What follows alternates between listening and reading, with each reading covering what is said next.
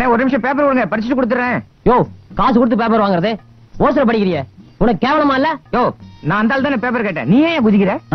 யோ paper எழுந்தியா? இன்னைக்கு decoction coffee தான். வேற வழியே இல்ல?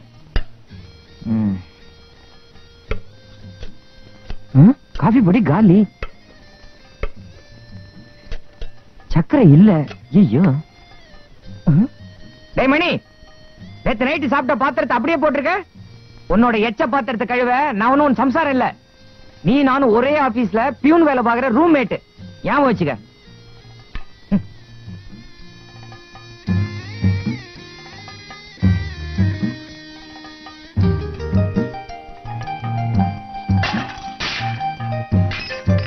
அரிசி கழுவணும் பருப்பு வேக வைக்கணும் தண்ணி பிடிக்கணும்.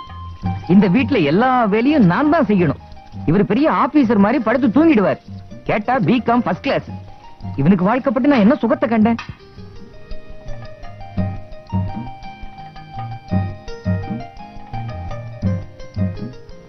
டேய் ரமணி மணி ஏழராவது. இன்னும் இன்னைக்கு ஏன் காப்பி கொடுக்கல? இல்லண்ணே? வர வர நீ பொறுப்பு இல்லாம நடந்துக்கிற. பாலு காப்பி பொடி சக்கரை மூணுமே இல்ல. நீங்க பிகாம் ஃபர்ஸ்ட் கிளாஸ் உங்களுக்கு தெரிஞ்சிருக்கணுமே. இது மூணுமே இல்லாத காபி போடுற வழி ஏதாச்சும் இருந்தா சொல்லுங்க. காபி போட்டு தரேன். அந்த ஃபார்முலாலாம் நான் உனக்கு சொல்லிக் கொடுக்க விரும்பல. ஏற்கனவே ஆபீஸ்க்கு டைம் ஆச்சு. நான் குளிச்சு ரெடி ஆகிறேன் மத்தியானம் சாப்பாடு சீக்கிரம் ரெடி பண்ணு? துரோகி. கேட்ச் எப்படி பாத்தியா? இதுக்கு தான் பிகாம் ஃபர்ஸ்ட் கிளாஸ் புடி. அதான்டா எஸ்எல்சி ஏய் தினசரி பத்து மணி ஆபீஸுக்கு பத்தரைக்கு போவான். இன்னைக்கு மத்தியானம் சாப்பாட்டுக்கு தான் எனக்கு தெரிஞ்சு சைக்கிளுக்கு டிரைவர் வச்சிருக்கிற ஒரே ஆள் நீதான்டா. ஆ? உன் எஸ்எல்சிக்கு இது அதிகம்.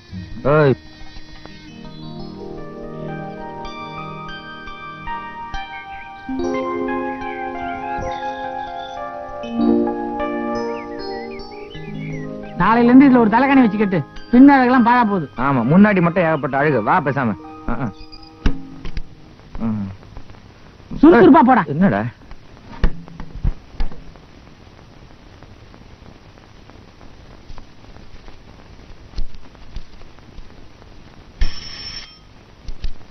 வாங்க. வாங்க. ம். பெல் அடிச்சு கூப்பிடுற அளவுக்கு கவனிக்காம போறீங்க. என்ன தெனாவட்டும் உங்களுக்கு? ஐ சே. வை லேட் சார் இப்படி நகைச்சுத்தியோட மணி அடிக்காதீங்க சார் ஏற்கனவே பழுத்து இருக்கு அப்புறம் ஒஞ்சிடும் உடஞ்சிட்டா அஞ்சு வரலுக்கும் பரவிடும். எல்லா வரலுக்கும் எலுமிச்சி பழம் போடணும். பாக்குறதுக்கு தவை வித்வானா இருப்பீங்க. எனக்கு காரணம் தெரிஞ்சாகணும். மணி நகைச்சுத்தி வரத்துக்கு என்ன காரணம்? நகத்தை சுத்தமா வச்சுக்கலாம் நகை சுத்தி வரும். இது கூட தெரியாத மடையன் அவரு. ஏன் sir no this is too much I say பத்து மணி ஆபீஸ்க்கு பத்தரை மணிக்கு வரீங்களே? உங்க ரெண்டு பேருக்கு வெக்கமா இல்ல? இல்ல சார்? அது இல்ல சார் சைக்கிள்ல டயர் பஞ்சர். நேத்துக்கு இதே காரணத்தால சொன்னேன். நேத்துக்கு பேக் வீலு இன்னைக்கு ஃப்ரண்ட் வீலு சைக்கிளுக்கு ரெண்டு வீல் இருக்கு இல்லையா? நான் நம்ப தயாரா இல்ல. என்னடா அவரு? சத்தியமா சைக்கிளுக்கு ரெண்டு வீல் இருக்கு சார் நீங்க வேணா வாசல்ல வந்து பாருங்களேன். ஐயோ! நாங்க கைட்டு வந்து காட்டுமா? உங்க ரெண்டு பேரை பத்தி ஹெட் ஆபீஸுக்கு எழுதி வேலைக்கே உல வைக்கிறேன். தேமணி ஆயிரத்தி தொள்ளாயிரத்தி எழுபத்தி அஞ்சுல இருந்து இன்ன தேதி வரைக்கும் நம்ம ஆபீஸ் ஸ்டாக் ஃபைல்ஸ் பூராவின் டேபிளுக்கு பத்து நிமிஷத்துக்குள்ள வந்தாகணும் பி குவிக் நேரா நாயர் கடைக்கு போ. நான் சொன்னேன்னு சொல்லு. சூடா ஒரு கப் டிகிரி காப்பி வாங்கிட்டு வாங்க பத்து நிமிஷத்துக்குள்ள ஹெக்லார் டேபிளுக்கு ஸ்டாக் ஃபைல்ஸ் தான் போய் ஆகணும். போகட்டும் ஐயா. யார் வேண்டாம்னாங்க? முதல்ல ஒரு கப் காஃபி வாங்கி கொண்டு கொடு அப்புறம் கொண்டே ஃபைல வை. ஒண்ணு பண்ணுங்க. நீங்க நாயர் கடைக்கு போய் ஒரு காபி சாப்பிட்டு எனக்கு ஒண்ணு வாங்கிட்டு வாங்க. ரெண்டுத்துக்கு நான் காசு கொடுத்துறேன். என்னய்யா மரியாதை இல்லாம பேசுற? வர வர உனக்கு ரொம்ப தான் திமிரேறி போச்சு. ஆமா. நீங்க போடுற சோறுல தான் எனக்கு திமிரு அதிகமாயிருச்சு. வர வர நானும் பாத்துட்டு இருக்கேன். என்ன ஒரேடியா மிரட்டுறீங்களா? சார் நான் பிகாம் ஃபர்ஸ்ட் கிளாஸ் நீங்க வெறும் எஸ்எல்சி அதுவும் இருபது தடவை கோட் அடிச்சு கவர்மெண்டா பரதாபப்பட்டு உங்களை பாஸ் பண்ணிருக்காங்க நீங்க என்னடான்னா என்ன காப்பி வேணுமா டீ வேணான்றீங்க உங்களுக்கு காப்பி வேணா முடியாது. என்ன பண்ணுவோம் பண்ணிக்கங்க.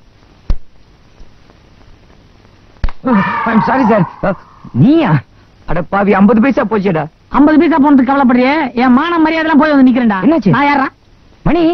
நான் என்னடா படிச்சிருக்கேன்? B Com first class B Com first class pass பண்ணிருக்கேன் அந்த எஸ்எல்சி படிச்ச கிளார்க் கம்னாட்டி என்ன காப்பி என்ன சொல்றான்டா. காப்பி ஸ்பெல்லிங் தெரியுமா உனக்கு? இதே கவர்மெண்ட் ஆபீஸா இருந்துச்சு. அவனை இன்னைக்கு ஒரு வழி பண்ணிருப்பேன் நம்ம தலையெழுத்தி இது தனியார் கம்பெனி கவர்மெண்ட் ஆபீஸ்ல உன்னை யாருமே காப்பி வாங்கிட்டு சொல்ல மாட்டாங்க. ஏன்னா முக்காவாசி கவர்மெண்ட் ஆபீஸ் இப்ப கேண்டீன்ல தான் நடக்குது. டேய் இந்த கிளர்க்கு பசங்களுக்கு எல்லாம் இவ்வளவு தைரியம் வர்றதுக்கு காரணமே அந்த பழைய எம்டி தடியன் தான். அவர் தான் டிரான்ஸ்பர் ஆகி போயிட்டாரு. நமக்கு விசாகப்பட்டினத்துல இருந்து புது எம்டி வர போறார். அந்த நம்பிக்கையில் தானே நான் இருக்கிறேன். அவர் எப்படியாவது ஐஸ் வச்சு நாம மேனேஜர் ஆயிடுவோம். நாம மேனேஜர் ஆயிரும். அண்ணே. நீங்க எஸ்எல்சி உங்க தகுதிக்கு கிளர்க்கா தாண்டது ரொம்ப கஷ்டம். நான் தான் மேனேஜர் ஆக முடியும். ஏன்னா நான் பிகாம் ஃபர்ஸ்ட் கிளாஸ் உன்னை காஃபி வாங்கிட்டு சொன்னது கரெக்ட் தான். அடிக்கிறேன் சார். அன்புள்ள அம்மாவுக்கு உங்கள் மகன் மணி எழுதி கொண்டது. நலம் நலமறிய ஆவல். உங்களை இங்கே அழைத்து கொண்டு வந்து என்னுடனேயே வைத்துக் கொள்ள ஆசைப்படுகிறேன். ஆனால் அதற்கு கொஞ்சம் டைம் ஆகும். நீங்கள் என்னை நினைத்து கவலைப்பட வேண்டாம். தங்கையும் அத்தானும் உங்களை சரியாக கவனித்துக் கொள்கிறார்களா? கண்டிப்பாக பதில் போடவும். மணி நான் சாம்பார் வச்சிட்டேன். என் டியூட்டி ஓவர் அடுத்து நீ ரசம் வைக்கணும். ரஸ்தையை நீயே வச்சிரேன் நான் மோர் பண்ணிடுறேன். மோர் பண்றியா. எப்படி? இருக்கிற மோர்ல இன்னும் கொஞ்சம் தண்ணி விட்டு நீர் மோர் ஆக்குறியா? இதை கொஞ்சம் போஸ்ட் பண்ணிடு. டேய் வர வர நீ என்ன கொத்தடி மேய்க்கிற இது நல்லா இல்ல.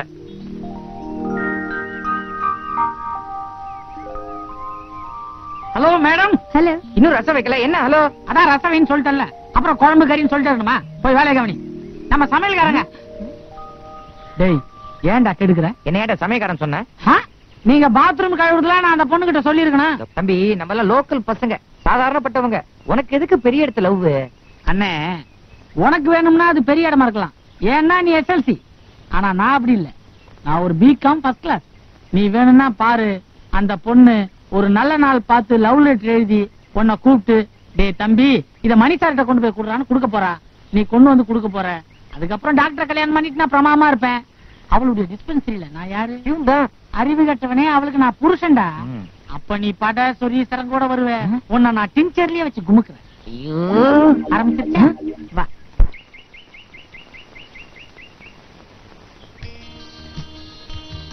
நிறுத்து, நிறுத்து. என்னடா இறங்கிட்ட? நம்ம ஃபேமிலி டாக்டர் ஃபேமிலி டாக்டரா ஆமாண்டா அந்த பொண்ணு டாக்டர் அதை நான் கல்யாணம் பண்ணிட்டேன். அப்புறம் அதான் எனக்கு ஃபேமிலி டாக்டர் ஏய் வேணாண்டா உதப்பட போறடா. அதுக்கு தான் டாக்டரா பார்த்து கட்டிக்கிறது ஹலோ மேடம் உங்ககிட்ட ரொம்ப நாளா ஒரு விஷயம் கேட்கணும் கையில கோட்லாம் வச்சிருக்கீங்க. மறுபடியும் என்ன படிக்கிறீங்க? இப்ப எம்டிக்கு படிக்கிறேன். ஓ. நீங்க? நான் பிகாம் ஃபர்ஸ்ட் கிளாஸ்ங்க ஒரு கம்பெனில மேனேஜரா இருக்கேன். வாங்க பேசிட்டு போவாங்க. என்னது மேனேஜரா இவன் அந்த ஆபீஸ்ல பியூன். பியூனா ஏங்க ஒரு மேனேஜர் ஒரு பியூன் பின்னாடி சைக்கிள் ஏன் உட்கார்ந்து வரணும்? கேளுங்க. அதானே. ஏன். நான் கம்யூனிஸ்டுங்க நமக்கு இந்த ஏழை பணக்காரன் காரு சைக்கிள் வித்தியாசமே கிடையாது. வாங்க போலாம். சாரி போட. வரேங்க. போட. ஏய்.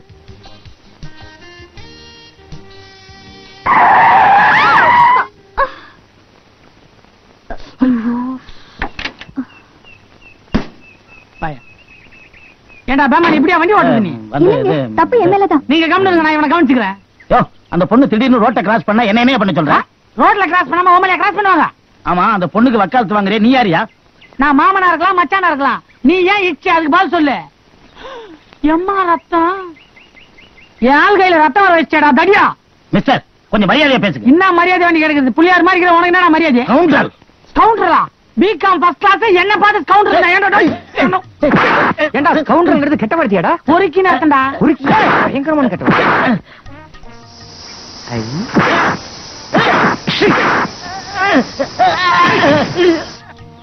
இன்னும் பத்து மைலுக்கு பெட்ரோல் பங்கே கிடையாது. குண்டன் செத்தான். பொறிக்கு பசங்களுக்கு இது ஒரு பாடமா இருக்கட்டும். வட. ரொம்ப தேங்க்ஸ்ங்க நீங்க வேற. இதெல்லாம் எனக்கு ரொம்ப சாதாரணங்க. டேய்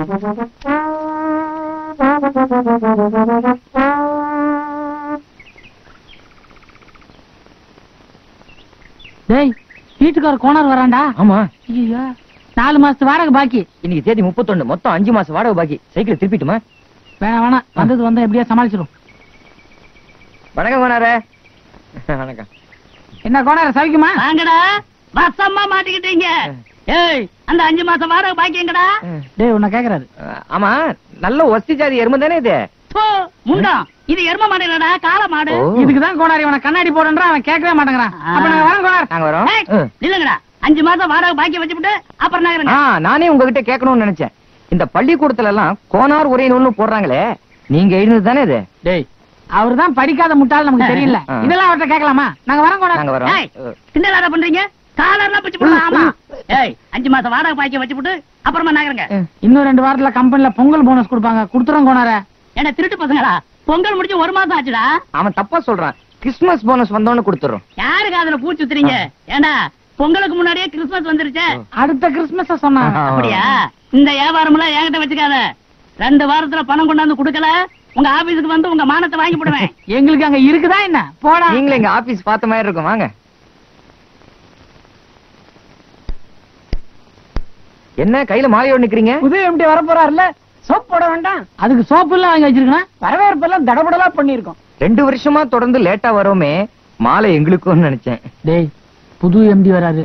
எப்படியாவது அவர் கையிலயோ காலியோ விழுந்து கிளார்க் ப்ரொமோஷன் வாங்கினடா ஆண்டவா எங்களுக்கு மட்டும் கிளார்க் ப்ரமோஷன் கிடைச்சது அறுபடை வீட்டுக்கும் வந்து. எம்டிக்கு மொட்டை அடிக்கிறோம்.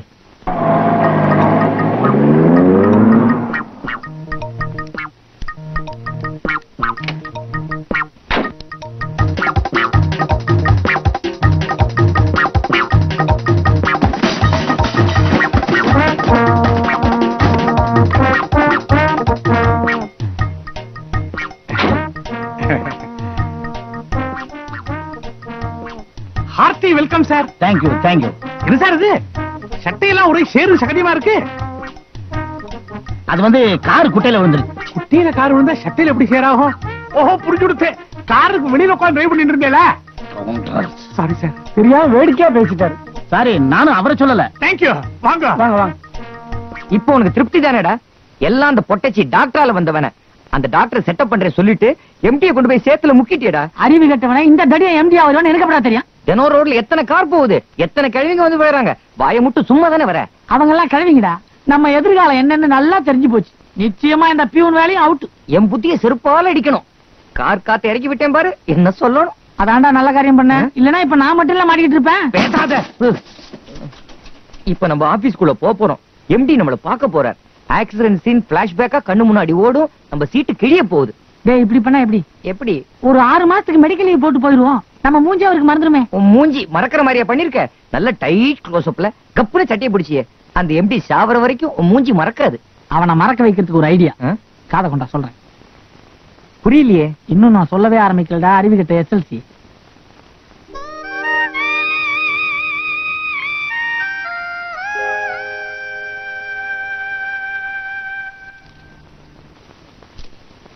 ஆமா நீங்க ரெண்டு பேரும் யாரு? நான் ரமணி. நான் ரமணி. டேய் நீ மணி. நீ மணி. நான் மணி இல்லடா நீ ரமணி. நீ ரமணி. ஆ நான் மணி. ஃபைனலா செட்டில் ஆயிடுச்சா ஆமா இது என்ன கன்றாய் வேஷம் மெட்ராஸை. அதான் கண்ணாடி போட்டிருக்கேன். இவன் தாடி? என் கண்ணுல இருக்கிற ஐ சரியாகணும்னு இவன் மாரியாத்தாவுக்கு தாடி வளர்க்கறான். அதான் தாடி. அம்மோ.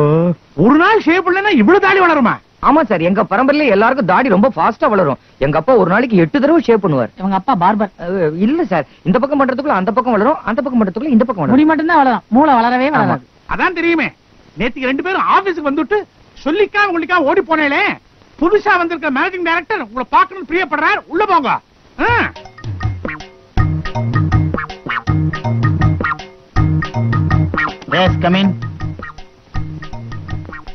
என்ன விஷயம்? சார் நேத்து எனக்கு வயித்த வலி. எனக்கும் அதே வயிற்றுல வலி. அதனாலதான் லீவ் லெட்டர் கூட எழுத முடியல. கை வலியா இருந்தா தானே லீவ் லெட்டர் எழுத முடியாது? வயிற்று வலி தானே? சார் நாங்க நேத்திக்கு சாப்பிட்ட ஃபுட்ல பாயசம். சார் ஃபுட் பாய்ஸ்னா தான் அவன் தப்பா சொல்றான். பிகாஸ் அவன் எஸ்எல்சி நான் பிகாம் ஃபர்ஸ்ட் கிளாஸ் நாங்க ரெண்டு பேரும் இந்த ஆபீஸ்ல பியூன் நீங்க நேத்து அது நாங்க இல்ல சார். நேத்து எங்களுக்கு ஒரே வயித்த வலி. ரெண்டு பேரும் வீட்லயே இருந்தோம். இல்லடா. ஆமாண்டா. ஆமா சார். அது இல்லப்பா. நேத்து மெயின் ரோட்ல ஒரு ஆக்சிடென்ட் ஒரு பொண்ணு மேல காரை மோதிட்டேன். அப்போ நாங்க மெயின் ரோடு வழியா வரவே மாட்டோம் சார். ஒத்த அடிப்பாத வழியா தான் வருவோம். அதுவும் பொம்பளைங்க மேல உங்கள மாதிரி ஆள் இடிச்சா நாங்க கண்டுக்கவே மாட்டோம் சார். ஆபீஸுக்கு லேட் ஆயிடுமோன்னு பயந்து சீக்கிரமே வந்துருவோம். தொழில் மேல அவ்வளவு பக்தி. அந்த தாடி இது வேண்டுதல் தாடி சார். நாற்பது ஐம்பது வருஷமா நாலஞ்சு வருஷமா வளர்க்குறேன். உரம் போட்டு வளர்க்குறான். நீ கண்ணாடி கேட்டு சார் நான் கண்ணாடியை கழட்டினா நீங்க அழுதுருவீங்க சார். எனக்கு மெட்ராஸ் ஐ இருந்தா பரவாயில்ல சார். தமிழ்நாடு ஐ சார். சும்மா கழட்டின உடனே உங்களுக்கு கபால்னு புடிச்சிங்க சார். சொல்றாடே ஆமா சார். அதனால தான் எனக்கும் வந்துருமோன்னு நான் இவனை பாக்குறதே இல்ல சார். அப்ப நாங்க டியூட்டில ஜாயின் பண்ணலாமா? நீங்க போலாம். Thank you sir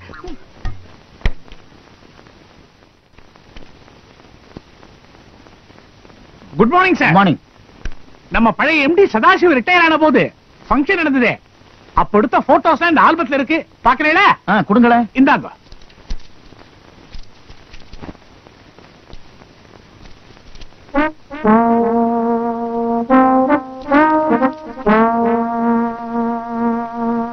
இந்த தாடி வர வரன்னு இழுக்குது. ஒரு நாளைக்கு ரெண்டு ரூபா வாடகை. எடுத்துட்ட. ஏய் இன்னும் ஒரு வாரத்துக்கு ஒட்டு. அந்த எம்டிக்கு நம்ம மூஞ்சி பழகிறோம் அதுக்கப்புறம் பாத்துக்கலாம். உனக்கு பயங்கரமான ஐடியாடா. என்ன என்ன பிகாம் ஃபர்ஸ்ட் கிளாஸ்ல நான் கூட முதல்ல இந்த எம்டி எதனா புத்தாலியா இருப்பானு பயந்தேன். அப்புறம் தான் தெரிஞ்சது அவனுக்கு மண்டியில ஒரே களிமண்ணு. அறிவே இல்லடா. லூசு. ஸ்கவுண்டல்ஸ் பெரியவர் கூப்பிடுறாரு பாரு. என்ன இல்ல ஒன்னதான் எங்களையா தள்ளிட்டீங்க? எண்ணி பத்து நாள் அந்த கம்பெனியை திவால்ரா எட்லார் குண்டா வெள்ள வாடா முதுகுல டின்னு கட்டுறேன் இருபது அட்டம் எஸ்எல்சி எங்க வீட்டுக்காக தானே போவேன் மவனே இன்னைக்கு நீ காலி. தொழிலாளர் ஒற்றுமை. ஓங்குக. இன்குலாப். ஜிந்தாபாத். எம்டி பகாலாபாத். எக்லார் பீசால்பாத். டைபிஸ்ட் சோட்டிசி பாத் ஓடிரே. எம்டிய காக்கா பிடிக்கிறோம் காக்கா பிடிக்கிறோன்னு நம்ம ரெண்டு பேரும் எம்டியா போயிட்டோம். வேலை போயிடுச்சு என்னடா பண்ண போறோம்? சரிடா மனசை தளர விடாத. ஹலோ? ஹலோ. எங்க வெளில கிளம்பிட்டீங்களா? By the way he's mister Nandagopal. Hello. கப்பல்ல இன்ஜினியரா இருக்கார். நான் பிகாம் ஃபர்ஸ்ட் கிளாஸ்ங்க அவங்க சொல்லிருப்பாங்களா ஹீஸ் மை ஹஸ்பண்ட் ஹஸ்பண்ட்னா புருஷன் அர்த்தம். போயிட்டு வரேன். நல்லா மகாலட்சுமி மாதிரி இருக்காங்க. பிசாசு மாதிரி இருக்கா? இனிமே எவ்வளையா லவ் லவ் பண்ணு. பிச்சிருவேன்.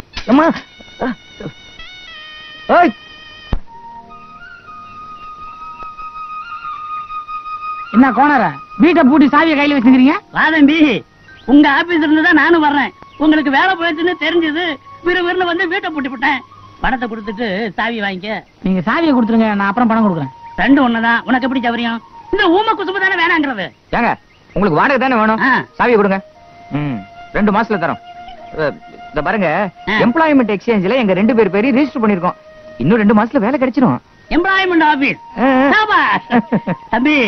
நீ மண்டைய போடுறதுக்கு முதல் நாள் தான் ஆறரை வரும்? ஆறரை பார்த்தா அதிர்ச்சியில நீ சுமங்கலியா போய் சேர்ந்துருவ. இங்க பாரு இருபத்தி நாலு வருஷமாவது நான் பதிவு பண்ணி வச்சு இன்னும் எனக்கு ஆர்டர் வரல. ஏன்டா இப்படி லோலோ லோன்னு அலையுறீங்க? போங்கடா. கோணர கோணர. அவன் எஸ்எல்சி அப்படித்தான் பேசுவான். நான் பிகாம் ஃபர்ஸ்ட் கிளாஸ் எனக்கு நிச்சயமா வேலை கிடைச்சிடும் தம்பி வேலை வேலைன்னு கவர்மெண்ட் எதிர்பார்க்காதீங்க. சொந்த கால்ல நில்லுங்க. இப்ப மட்டும் ஒரு குச்சியை ஊனிட்டா நிக்கிறோம். சொந்த கால தான் நிக்கிறோம். பேசுறதுல ஒண்ணும் குறைச்சலே கிடையாது. தம்பி உங்கள மாதிரி ஆளுங்களுக்கு பேங்க்ல கடன் கொடுக்கறாங்க. அங்க போய் லோன் வாங்கி சொந்தமா ஒரு பிசினஸ் பண்ணுங்களேன் பேங்க்ல கடன் எல்லாம் கொடுக்குறாங்களா தம்பி இப்படித்தான் என் மச்சான் வடிவேலு வேலை வெட்டி இல்லாம சும்மா சுத்திக்கிட்டு இருந்தான். அவனுக்கு நான் பேங்க்ல லோன் வாங்கி கொடுத்தேன். அவன் இப்ப சலூன் வச்சுக்கிட்டு ஓஹோன்னு இருக்கான். நிஜமாவா? சலூன் வைக்க கூட பேங்க்ல கடன் தராங்களா? அட நீ ஒண்ணு. இப்ப அவன் கிராப் வெட்டிக்கிறதுக்கு பேங்க்ல லோன் வாங்கிட்டு ஓ, இருக்கிறான் எனக்கு கூட அதிகமா வளர்ந்துருச்சு. நீ தேர மாட்ட. தம்பி எனக்கு தெரிஞ்ச பேங்க் மேனேஜர் ஒருத்தர் இருக்கிறார். அவர்கிட்ட உங்க ரெண்டு பேரையும் கூட்டிட்டு போறேன். பேங்க்ல லோன் வாங்கி தரேன். எப்படி? நாங்க இது வரைக்கும் யார்கிட்டயும் கடனே வாங்கினது இல்லைங்க. இப்ப எனக்கு வாடகை பாக்கி தரணுமே அதுக்கு பேர் என்ன? என்னங்க நீங்க? நீங்க வேற நாங்க வேறங்களா? நம்மளா ஒண்ணுக்குள்ள ஒண்ணுங்க. டேய், சாவி வாங்கிட்டு போடா. சாவியை கொடுங்க. டேய் ஒரு அஞ்சு ரூபா எடுத்துக்கிறேன்டா. அவ்வளவுதான் இருந்துச்சா? அவ்வளவுதான் இருந்துச்சு. அல்பம் கைய மடக்கி விடுறான்னு நினைச்சேன். காசை எடுத்துக்கிட்டு போறான். அதை விடுங்க. நாளைக்கு முத வேலையா? குளிச்சு முடிவிட்டு பேங்க்ல கடனை வாங்குறோம். அதுல உங்க அஞ்சு ரூபாய் திருப்பி கொடுத்துறேன். லோன் கொடுத்துக்கிட்டு தான் இருந்தோம். பட் இப்ப கொஞ்சம் கஷ்டம். சார் நீங்க அப்படிலாம் சொல்லப்படாது. நல்லா படிச்ச பசங்க. ஆமா சார். நான் பிகாம் ஃபர்ஸ்ட் கிளாஸ் நான் கூட அப்படிதான். இந்த மாவட்டத்தை பொறுத்த வரைக்கும் சிறு தொழிலுக்கு லோன் கொடுக்கறத தற்காலிகமா நிறுத்தி வச்சிருக்கோம். நாங்க பெருந்தொழில ஆரம்பிச்சிடுறோம். பெருந்தொழிலுக்கு லோன் கொடுக்கறதுக்கு இந்த பிரான்ச்சுக்கு அதிகாரம் கிடையாதுங்க. ஏன் கோனார்? உங்க பிசினஸே அவங்களுக்கு சொல்லி கொடுங்களேன். லோன் தர்றோம். பசு வாங்கி தாங்க. பால் பிசினஸ் பண்ணட்டும். பசுவா? மாடு. இந்த கொம்பெல்லாம் இருக்குமே. என்னடா இது? சார் நான் பிகாம் ஃபர்ஸ்ட் கிளாஸ் நாங்க போய் மாடு மேய்க்கிறதுனா எப்படி சார் என்ன கோனாரு அது சாணி எல்லாம் வேற போடும். குறைச்சுமே பேசாம இருங்கடா. சார் ஒரு நிமிஷம். ஓகே. எந்திரிங்கடா எந்திரிங்கடா. ம், ம். கொஞ்சம் கூட புரியாத பசங்களா இருக்கிறீங்களே. எப்படி நீங்க பிழைக்க போறீங்க? ஏன்பா என்ன பசுமாடுன்னா உங்களுக்கு அவ்வளவு கேவலமா இருக்கா? என்ன எடுத்துக்க? என்கிட்ட முதல்ல ரெண்டு டெல்லி பசுமாடு இருந்துச்சு. உங்க வயசுக்கு ஓகேங்க. எங்களை யோசிச்சு பாருங்க. வியாபாரத்துல வயசு நடா வயசு? இப்போ என்கிட்ட நூறு பசுமாடு இருக்கு. நாலு சொந்த வீடு இருக்கு. அவ்வளவும் பால்ல வந்த பணம். பேசாம அந்த பத்தாயிரம் ரூபாய் லோனை வாங்கி என்கிட்ட கொடுத்துருங்க. நான் என்கிட்ட இருக்கிற ரெண்டு டெல்லி பசுமாட்டை உங்ககிட்ட கொடுத்துறேன். ஜாமா இங்க. ஊருக்காரங்க இனிமே நம்மள எங்க ஊரு மாட்டுக்காரன்னு கூப்பிட போறாங்க. பிகாம் ஃபர்ஸ்ட் கிளாஸ்ரா எது எப்படி ஆனாலும் பரவாயில்ல. பேங்க் கடனை ஒழுங்கா திருப்பி கொடுத்துடணும். கவலைப்படாத. கோனாரு ஒரு வேலைக்கு இருபது லிட்டர் பால் கறக்கும்னு சொல்லியிருக்காரு. அப்படின்னா ஒரு நாளைக்கு நாற்பது லிட்டர் பால். ஒரு லிட்டர் பால் விலை அஞ்சு ரூபா. ஐயோ நஞ்சு. ஐ ரெண்டு பத்து அறிவு. கட்ட எஸ்எல்சி நீ இப்படிதான் பிகாம் நான் கணக்கு போட்டு வச்சிட்டேன். பேங்க் கடன் போவ நம்ம செலவெல்லாம் போவ. மீதி ரெண்டாயிரம் ரூபாய் நம்ம சேமிக்கிறோம். அப்போ இவ்வளவு லாபம் வரும் தெரிஞ்சும் கடனை உன் பேர்ல வாங்காம என் பேர்ல ஏன் வாங்க சொன்ன? எல்லாம் ஒரு பாதுகாப்பு தான். திடீர்னு ஏதாவது அசம்பாவிதம் நடந்தா நான் தப்பிச்சுக்கலாம் பாரு. அப்படிலாம் ஒண்ணும் நடக்காது நீ வா. டேய் உன் மாட்ட காணடா என்னடா எம் வேணுங்கிற? ஆமா நீ தான் கடன் பத்திரத்தை கையெழுத்து போட்டிருக்க. போய் தேடு. மாடு குடி. நாட்டார ஒரு வழியா நம்ம கஷ்டம் எல்லாம் தீர்ந்து போச்சு. எப்படி? ரெண்டு கிலோ புண்ணா கொடுங்க. அரிசிக்கு பதிலா புண்ணாக்கு திங்க ஆரம்பிச்சிட்டியா? ரொம்ப திங்காதப்பா. கொம்பு முளைச்சிட போகுது. யோ புண்ணாக்கு எனக்கு இல்லையா? பசுமாட்டுக்கு போமாத்தா இனிமே எங்க எதிர்காலமே உன் கையில தான் இருக்கு. கையில இல்லடா மடியில இருக்கு. அம்மா இந்த மாட்டுக்கு மடியே காணுமே. மடிய காணன்னு மேல பாக்குற மடி அடியில இருக்குடா. ஓஹோ. இனிமே மாட்டை பத்தி எதனா தெரிஞ்சுக்கணும்? என்ன கேளு. BCom first class. ஏண்டா? இந்த மாடு வாங்கணுன்ற யோசனையா நமக்கு முன்னமே வரல. எல்லாத்துக்கும் ஒரு நேரம் வரணும் இல்லையா? ஆமா. இந்த ரிஷப ராசின்றாங்களே அது இப்பதான் நமக்கு ஆரம்பிச்சிருக்கு. கரெக்ட் இப்ப நம்ம கிட்ட ரெண்டு டெல்லி பசு இருக்கு. இன்னும் நாலு பாம்பே பசு வாங்குவோம். ஆறு கல்கட்டா பசு வாங்குவோம். ஏழு மெட்ராஸ் பசு வாங்குவோம். மொத்தத்துல நாம ஒரு தேசிய பசு பண்ணையே ஆரம்பிச்சிடலாம். அதுல வர லாபத்தை வச்சு ஒரு பெரிய வீடு கட்டுறோம். எவ்வளவு வாடகையானாலும் பரவாயில்ல. அறிவு கட்ட முண்டம். சொந்த வீட்டுக்கு எதுக்குடா வாடகை? மாருதியில ஒரு கார் வாங்குறோம். ஃப்ரிட்ஜ் வாங்கணும். கலர்ல டிவி வாங்குறோம். சேப்புல ஒண்ணு பச்சையில ஒண்ணு. வீடு ஃபுல்லா ஏசி பண்ணணும். இன்க்ளூடிங் மாட்டு தொழுவோம். ஏன்னா நம்ம காமதேனு அங்கதானே உறங்குது. டெல்லி பசுவோட குரல் எவ்வளவு ரம்மியமா இருக்கு. பியு சின்னப்பா பாடுற மாதிரியே இருக்கு. கம்மியா சொல்றடா. தீவு பெரியப்பா அளவுக்கே பாடுதுடா நம்ம பசு.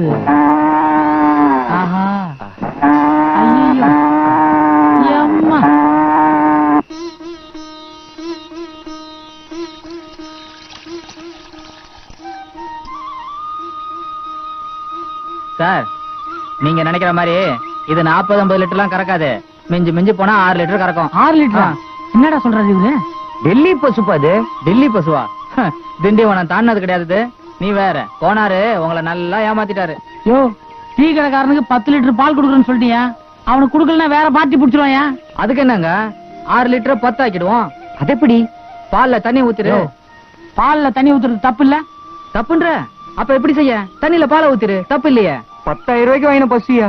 பசுவா இதுவா இது பெரிய சைஸ் கொசு அவ்வளவுதான். டேய் இது வரைக்கும் நம்மள மனுஷன் தான் ஏமாத்துனாங்க. இப்ப மாடை ஏமாத்த ஆரம்பிச்சிருச்சு. அப்போ தண்ணியில பாலை கலந்து டீ கடைக்காரனுக்கு கொடுத்துலான்ற அதான் அப்பவே சொல்லிட்டேனே. ஊத்திடு. வணங்கண்ணே ஒரு எட்டு லிட்டர் பால் இருக்கு. எங்க பாலை பத்தி நாங்களே பெருமையா சொல்லக்கூடாது. சும்மா தாய் பால் கணக்கா? அவ்வளவு கெட்டியா இருக்குதுண்ணே. யோ டீயா யாது? ஒரே தண்ணியா இருக்கு. குடுக்கற காசுக்கு கொஞ்சம் நல்ல டீயா கொடுக்க கூடாது அண்ணாச்சி கவலைப்படாதீங்க. இன்னில இருந்தா நம்ம பால் வர ஆரம்பிச்சிருக்கு. இனிமே பாருங்க சும்மா தயிர் கணக்கா குடிக்க போறீங்க.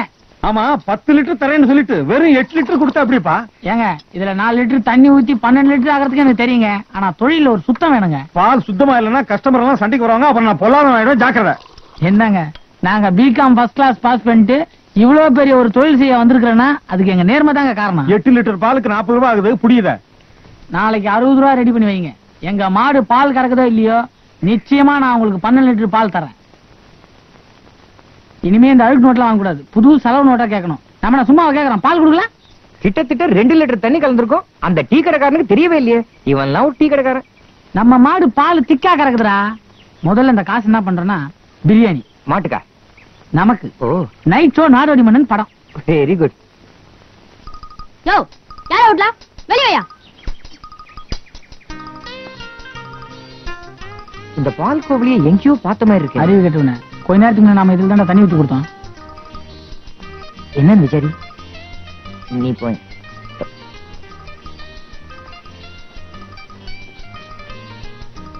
என்ன சார் வேணும்? டேய் என்னடா வேணும்? உங்க ரெண்டு பேர்ல யார் மணி? கொடுத்த பால்ல குற்றம் குறை ஏதாவது இருந்தா இவர்தான் மணி. மேற்கொண்டு பால் வேணும்னா நான் ரமணி. டேய் என்னடா? இந்தா நீ குட்ட பாலு. எங்க வீட்ல ஒண்ணும் தண்ணி கஷ்டம் கிடையாது. கிணறு இருக்குதியா? செய்யற தொழில சுத்தம் ஓனியா முந்தானே நான் கடப்ப கோர சொன்னாரு.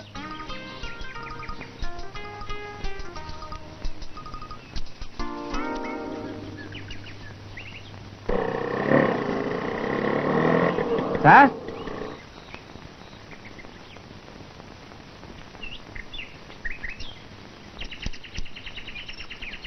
யார் சார் நீங்க?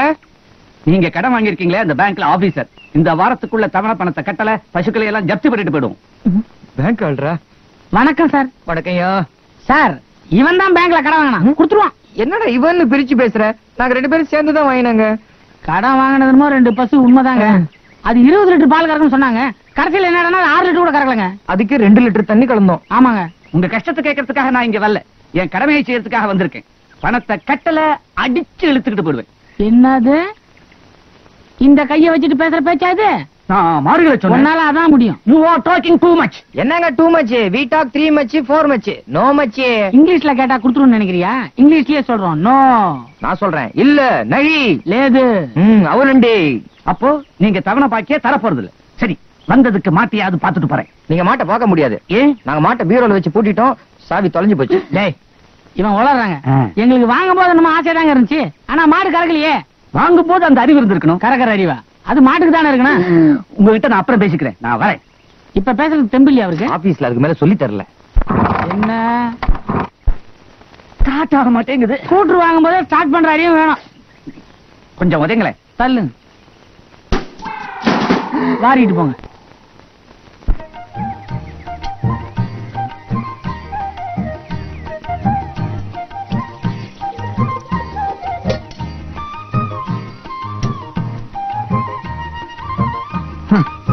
இன்னைக்கு மூணு லிட்டர் தான் கறந்தது.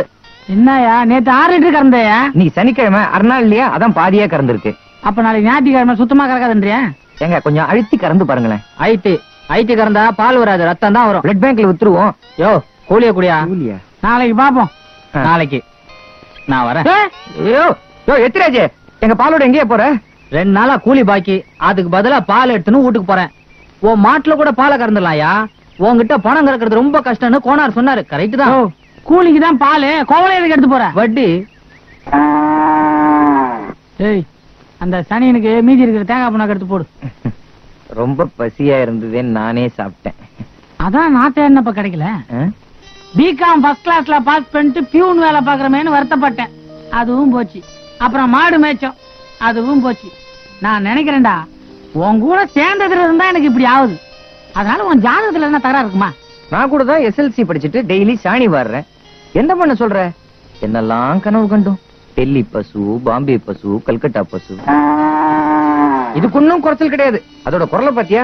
ஷானியா அந்த அறுவாளர் ஒரே போட போட்டுறேன். டேய் அப்படி எல்லாம் பண்ணிடாதடா. கடன் என் பேர்ல வாங்கி இருக்கு ஐயா ரெண்டு டெல்லி பசு விலைக்கு வந்திருக்கு. கோதார் அமிச்சார் அப்படிங்களா? உட்காருங்க உட்காருங்க டெல்லி பசு. விடாத. அடி. வெட்டிடுவேன். அடி. யோ கோணார இருபது லிட்டர் பால் கறக்கணும் அண்டை புழு புளி அந்த மாட்டை எங்களுக்கு வித்தியே. அது ஆறு லிட்டர் தான் கறக்கு தெரியுமா? இன்னைக்கு மூணு லிட்டர் தான். ஏன் இந்த அப்பாவிங்களை ஏமாத்தினேன்? இந்த கல்லையும் போடுறேன். உடைஞ்சு போவோம். அது டெல்லி பஸ் ஊருக்கும் புதுசு பாஷையும் புதுசு. இப்ப அப்படித்தான் வெக்கப்படும். பழக பழக சரியா போயிடும்.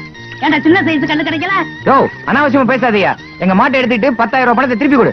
ஏய், என்னடா மிரட்டுறீங்க? வியாபாரம் முடிஞ்சது முடிஞ்சதுதான் வேணும்னா கோர்ட்ல கேஸ் போடுங்கடா. யோ இப்ப நான் உன்னை கொண்டுறேன் ஏன் மேல கேஸ் போடு. அதுவும் சரிதான் ஏய் நான் சொல்றத கேளுங்கடா. எவனாவது ஏமாந்தவங்கிட்ட மாட்டை வித்துட்டு ஊரை விட்டு ஓடி இருக்கடா ஏ யோ பேங்க்காரங்கிட்ட கடன் வாங்கிட்டு இப்படி ஊரை விட்டு ஓட சொல்லி நியாயமா இது? புரியாதவனா இருக்கிறியே. நானே வேற ஊர் பேங்க்ல கடனை வாங்கிட்டு சொல்லாம கொள்ளாம இந்த ஊரு கொடி வந்துட்டேன். உன்னை கொல்றதுல தப்பே. ஐயோ ஐயோ.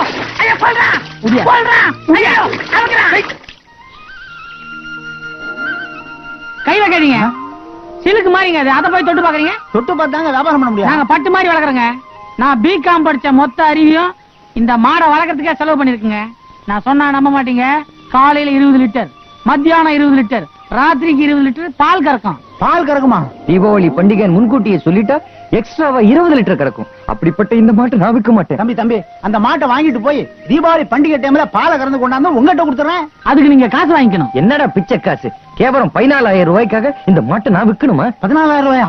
தம்பி பத்தாயிரம் ரூபாய் அனுச்சே சரி விடுங்க. அவன் பதினாலாயிரமும் வேணாம் என் பத்தாயிரமும் வேணாம் நடுப்புற பன்னெண்டாயிரம் கொடுத்து வாங்கிட்டு போங்க. சரி சரி. இந்தாங்க இதுல பத்தாயிரம் ரூபாய் இருக்கு. பாக்கி ரெண்டாயிரம் ரூபாய்? சட்டையை வச்சுங்க கொண்டாந்து தரேன். கொடையும் இருக்கட்டும். வச்சுக்க என்னடா ரெண்டாயிரம் ரூபாய்க்காக சட்டையும் கொடையும் கொடுத்துட்டு போறான் அறிவு கெட்டவனே இந்த ரெண்டு மாட்டை பத்தாயிரம் ரூபாய்க்கு வாங்கியிருக்கானா? இவனை விட மடை நமக்கு இந்தியாவிலே கிடைக்க மாட்டான். ஓடி வந்துரு. பாப்பலாம். ஓட்டு வரானா? டேய் இனிமே நமக்கு உள்நாடுலாம் சரிப்பட்டு வராது. அதனால கள்ளத்தோணி ஏறி துபாய்க்கு போறதா நான் முடிவு பண்ணிட்டேன். துபாயா? அப்ப பேங்க்ல வாயில கடன்லாம்? கவலைப்படாத திரும்பி வந்து கடன் அடிச்சு நம்ம புதுசா ஒரு பேங்க் ஆரம்பிச்சிடலாம். என்னடா அது அது வந்து ஏய் ஏய் என்ன வந்து போயின்னு? நம்ம ரெண்டு பேரும் துபாய் போறதுக்கு கஜா மூலியமா நான் எல்லா ஏற்பாடும் பண்ணிட்டேன். யார் அந்த கஜா? ஏங்க ஜானே என்ன? துபாய்க்கு கள்ளத்தோணில போலாம்னு சொல்றீங்களே ஒழுங்கா பாஸ்போர்ட் விசா வாங்கிட்டு போக முடியாதா? யாராவன் பாஸ்போர்ட் விசாவை எடுத்துட்டு துபாய் போனா ஒரு ஆளுக்கு 50000 ரூபாய் வேணும். அதுவும் இல்லாம ஒரு வருஷம் வேண்டா ஐயாயிரம் ரூபாய் துபாய் கூட்டு போறதுக்கு விட்டா வேற அப்ப துபாயில இறங்கினோடனே போலீஸ் பிடிச்சிட்டாங்கன்னா ஆ? நம்ம ஊர்னா ஒண்ணு ரெண்டு மூணு ஜெயில கம்பி எண்ணுவோம். துபாயில ஏக் தோ தீன்னு கம்பி போவோம். ஏக் தோ தீனா? தெலுங்கா? நீ அப்பப்ப எஸ்எல்சிங்கிறத காட்டுற. ஏன்னா ஒண்ணுமே பேச மாட்டேங்கிறீங்க? என்ன எங்க பேச விட்டீங்க? பேசுங்க. இந்த பாருங்க துபாய் நாட்டுல போலீஸ் எங்க இருக்கு எங்க இல்ல எல்லாம் எனக்கு அத்துப்படி. போலீஸ் நடமாட்டமே இல்லாத இடமா பார்த்து இறக்கி விட்டுறேன். இதை விட என்னடா வேணும்? ஏன எங்களை யாராவது பாத்துட்டாங்கன்னா சலாம் அலைக்கும் அப்படின்னு சொல்லுங்க. அவங்க முதல்ல சலாம் அலைக்கும் சொல்லிட்டாங்கன்னா? கும் கும்னு நீங்க சொல்லுங்க. டேய் கும் கும். டேய் கும் கும். இந்த பாருங்க புதன்கிழமை நைட்டு ஸ்டீம் போட் கிளம்புது. நீங்க மறக்காம ரெண்டு அரபு ட்ரெஸ் கொண்டுருங்க துபாயில இருக்கிற தமிழர்கள்ல பாதி பேர் நான் அனுப்புறவங்க தான். நீங்க அங்க இறங்கணும்னு என் பேரை சொல்லுங்க. நீங்க எங்கேயோ போயிடுவீங்க. நான் அப்பவே சொல்ல அண்ணா மட்டும் துபாயில எலெக்ஷன்ல நின்னாரு. இவர் இறக்கி விட்டு ஆளுங்க ஓட்டு போட்டாலே போதும். இவர் முதலமைச்சராவே ஆயிடுவாரு. அப்ப நீங்க ஏன் எங்களோட துபாய் வரக்கூடாது? எல்லாரையும் அனுப்பிச்சிட்டு கடைசி தோணியில நான் மட்டும் தனியா வரேன். இப்ப நீங்க எங்கேயோ போயிட்டீங்க. பேச்சு எப்ப மவனா? ஊர்ல இருந்து எப்ப வந்த இப்படி வா? இப்பதான் வரேன். நீங்க எப்படி இருக்கீங்க தெரியுமா? சௌக்கியமா இருக்கிறேன். மணி. உங்க அம்மாவை தங்கச்சி தங்கச்சியும் புருஷனும் சீரா கவனிக்கிறது இல்லப்பா தண்டச்சோறு தண்டச்சோறுன்னு சொல்றாங்கப்பா. உங்க அம்மா மாடா உழைக்கிறாங்க. அனாவசியமா பேசுறாங்கப்பா அவங்க. பாவம் உங்க அம்மா. நீதான் சம்பாதிக்கிற பிள்ளையாச்சே. உங்க ஆத்தா ஊர்ல கொண்டு வச்சு கூடாது பெத்தவளை கவனிக்காத புள்ள உருப்படவே உருப்படாது. ஏமா இவ்வளவு துணியே நீ ஒண்டியமா துவைக்கிறியே? உனக்கு கஷ்டமா இல்ல? இதுல என்னமா கஷ்டம்? இல்ல மக புடவைய துவைச்சா கூட பரவாயில்ல. மருமக வேஷ்டியையும் துவைக்கிறியேம்மா. அதுல என்ன தப்பு? என் மக பிகாம் ஃபர்ஸ்ட் கிளாஸ்ல பாஸ் பண்ணிட்டு டவுன்ல பெரிய வேலையில இருக்கான். மாசம் ஒண்ணாம் தேதி வந்துச்சுன்னா போதும். ஐநூறு ரூபாய் டானு மணி ஆர்டர்ல வந்துரும். தெரியுமா? என்னவோமா உன்னை பார்த்தா எனக்கு ரொம்ப பரிதாபமா இருக்கு. நான் வரேன். மா. மணி? நீ எப்படா வந்த? இப்ப என்ன பத்தி பெருமையா அவங்க கிட்ட ரீல் விட்டு இருந்தியே அதுக்கு முன்னாடியே வந்துட்டேன். அதெல்லாம் போகட்டும். ஏண்டா உன்ன மாதிரி ஏன் அடிக்கடி லெட்டர் கூட போடுறது இல்ல ஒரு இருபத்தஞ்சு பைசா லெட்டர் கூட உனக்கு நான் போட முடியாத நிலைமையில இருந்துட்டு இருக்கேம்மா. இந்த லட்சணத்துல நான் உனக்கு மாசம் மாசம் ஐநூறு ரூபாய் மணியாடு பண்றதை அவங்க கிட்ட சொல்லிட்டு இருக்கல இருந்த பியூன் வேலையும் போயிருச்சு. எனக்கு டவுன்ல சரிப்பட்டு வரலமா பேசாம துபாய் எதனா போயிடலான்னு இருக்கேன். ஐயோ அதெல்லாம் வேணாம்டா. நீ டவுன்ல இருக்கிறதே எனக்கு ரொம்ப தூரத்துல இருக்கிற மாதிரி இருக்கு. பேசாம ரெண்டு பசுமாடு வாங்கி இங்கேயே பால் வியாபாரம் பண்ணலாம்டா. கடைசி அதையும் பண்ணி பார்த்தாச்சு. புண்ணாக்கு தின்னதான் மிச்சம். டேய் கடைசி காலத்துல நீ என் கூட இருக்கணும்னு ஆசைப்படுற. நீ கொல்லி போட்டாதான் என் கட்டு வேகுண்டா அப்படிலாம் சொல்லாதம்மா. ஊருக்கு போறதுக்கு முன்னாடி உங்ககிட்ட சொல்லிட்டு போறதுக்கு தான் வந்தேன். தங்கச்சியும் மாப்பிள்ளையும் நல்லா பாத்துக்கிறாங்களா ஆ நல்லா கவனிக்கிறாங்களே. அதுவும் மாப்பிள்ளைக்கு என் மேல ரொம்ப உசுரு வேலையில இருந்து வரும்போது அம்மா சாப்பிட்டாங்களா அப்படின்னு தான் கேட்பாரு எப்படி? நான் மாசம் ஐநூறு ரூபாய் பணம் அனுப்புறேன்னு பக்கத்து வீட்டுக்காரி சொல்லிட்டு இருந்தியே. இதுவும் அதே மாதிரி தானே? மா நீ என்னை விட நல்லாவே போய் சொல்றமா நான் வரேம்மா. டேய் ஏதாவது சாப்பிட்டு போடா. அதெல்லாம் ஒண்ணும் வேணாமா உன் தங்கச்சி சமையல் ரூபா பூட்டி வைக்கிறடா ஏதாவது செஞ்சு தரேன்டா. நீ அப்படி எதுவும் செஞ்சிட மாட்டேங்கிற தைரியத்தில் தான் அவ பூட்டி வைக்கல. அதை கெடுத்துறாத. என்ன ஆசீர்வாதம் பண்ணுமா? நல்லா இருப்பா. இதை விட எனக்கு பெரிய சாப்பாடே இல்லம்மா. நான் வரேன்.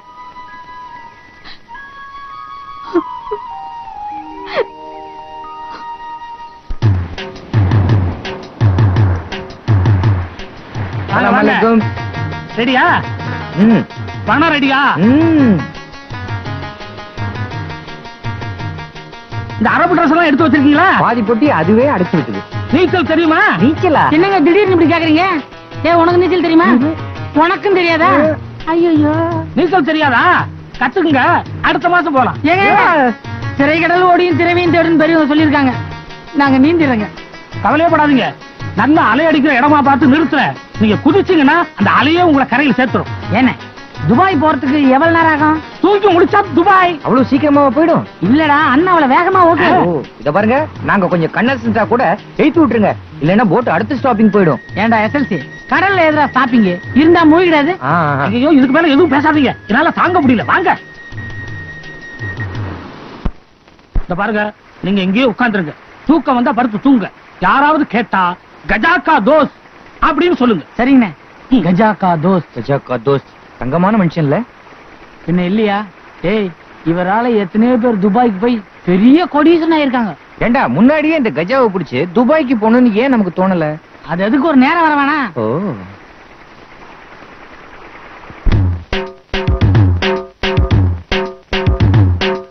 நான் தாண்டா அனுமார் பேரன் கடல் தாண்டி சீமைக்கு போறேன். கள்ள தோணி ஏறி போறேன். கப்பல் வாங்கி கரை வர போறேன். எதிர்காலம் எங்கள் கையிலே. நான் தாண்டா அனுமா பேரன் கடல் தாண்டி சீமைக்கு போறேன். கள்ள தோணி ஏறி போறேன். கப்பல் வாங்கி கரை வர போறேன். எதிர்காலம் எங்கள் கையிலே. தந்ததான தந்ததான தந்தன தருத்தமா நான் தாண்டா அனுமா பேர கடை தாண்டி சீமைக்கு போறேன்.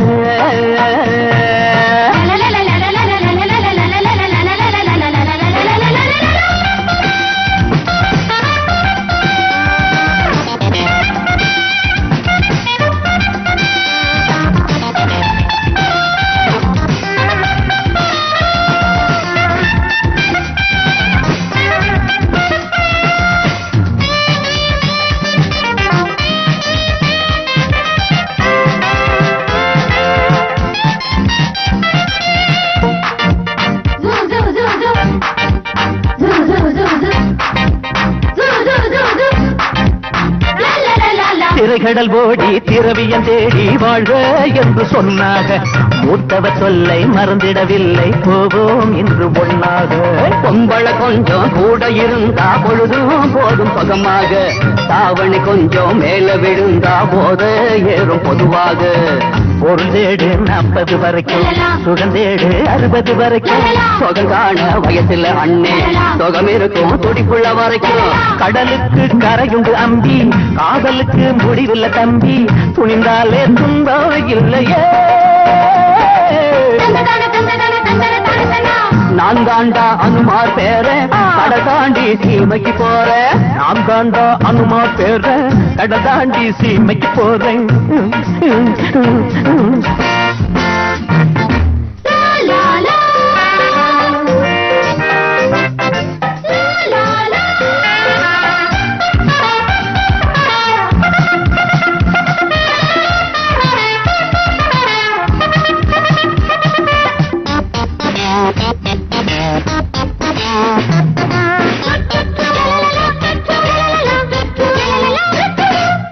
செடி உன்னை தொடுவதனாலே அங்கம் தேஞ்சி போகாது. மேகங்கள் உரசி போவதனாலே வானம் தேஞ்சி போகாது. நாடு கடந்து வருவதனாலே நானா மாறி போகாது. கூடு கடந்து வருவதனாலே குருவி காக்கையாகாது. பெண்ணாசை இல்லை என்றால் பொன்னாசை வருவது இல்லை. பொன்னாசை இல்லை என்றால் பூமியிலே மாறுதல் இல்லை. சிவனின்றி சக்தியும் இல்லை இவளின்றி முக்தியும் இல்லை. இப்போது இன்பம் கொள்ளையே. நான் தாண்டா அனுமார் பேரேன். கடல் தாண்டி சீமைக்கு போறேன். நான் தாண்டா அனுமார் பேரேன். கடல் தாண்டி சீமைக்கு போறேன். கள்ளத்தோணி ஏறி போறேன். கப்பல் வாங்கி கரை வர போறேன். எதிர்காலம் எங்கள் கையிலே.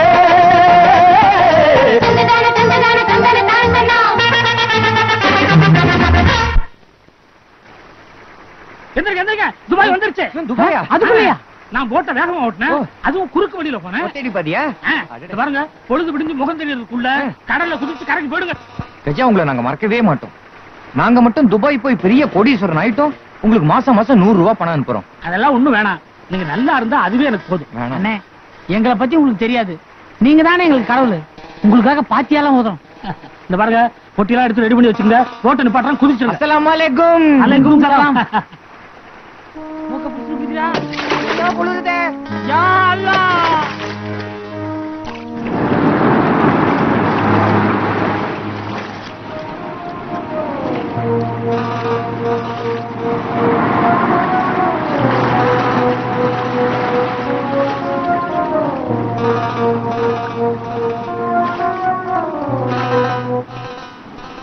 சீக்கிரம் வாடா. அண்ணன் என்னடா அவசரம்?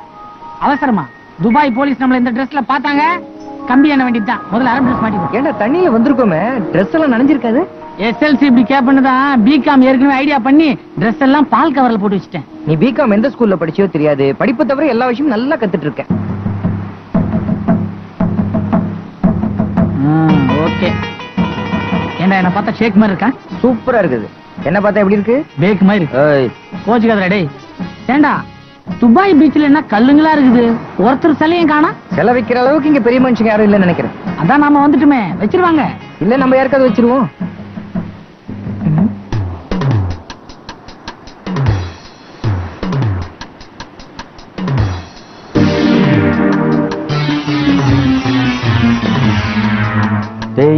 அவங்க ரெண்டு பேரும் நம்மளையே பாக்குறாங்கடா அவங்க பாக்குற பார்வையே வேற சரியில்லை. ஒருவேளை நம்மள புடிச்சு கொண்டு போய் துபாய் ஜெயில வச்சிருவாங்களோ? துபாய்ல ஜெயிலெல்லாம் வைக்க மாட்டாங்க. நடு ரோட்ல நிக்க வச்சு கல்லாலே அடிச்சு கொண்டு வாங்கலாம் அதான் இவ்வளவு கல்லா இருக்கா? பயந்தவங்க பாக்குறதெல்லாம் பேயா தான் தெரியும். நான் நினைக்கிறேன் அவங்களும் நம்மள மாதிரி புழைக்கிறதுக்கு தான் துபாய்க்கு வந்திருப்பாங்க. இன்னும் Dress கிடைக்கலையே என்னவோ. எனக்கு என்னமோ நம்பிக்கை இல்ல. அப்ப நீ நீந்தி ஊருக்கு போ. நான் பணம் சம்பாரிச்சு லெட்டர் ஏய், நானும் வரேன்டா.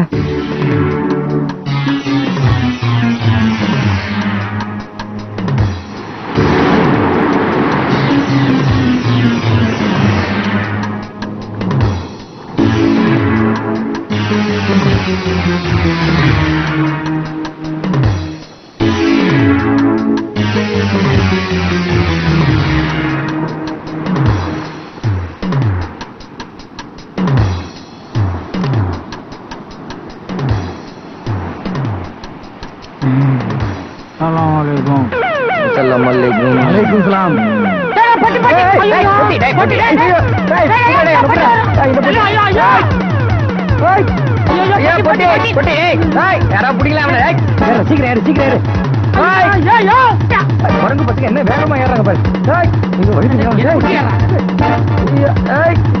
என்ன இருக்காதா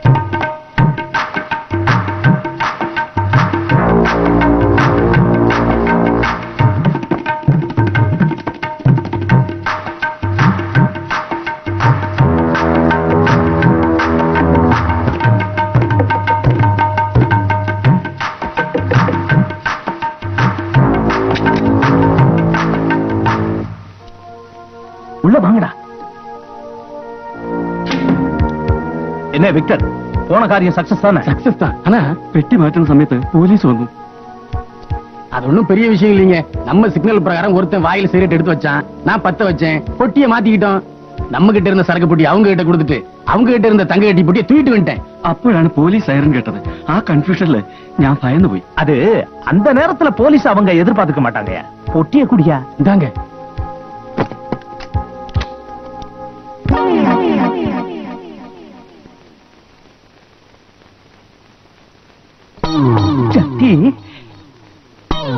பனியனு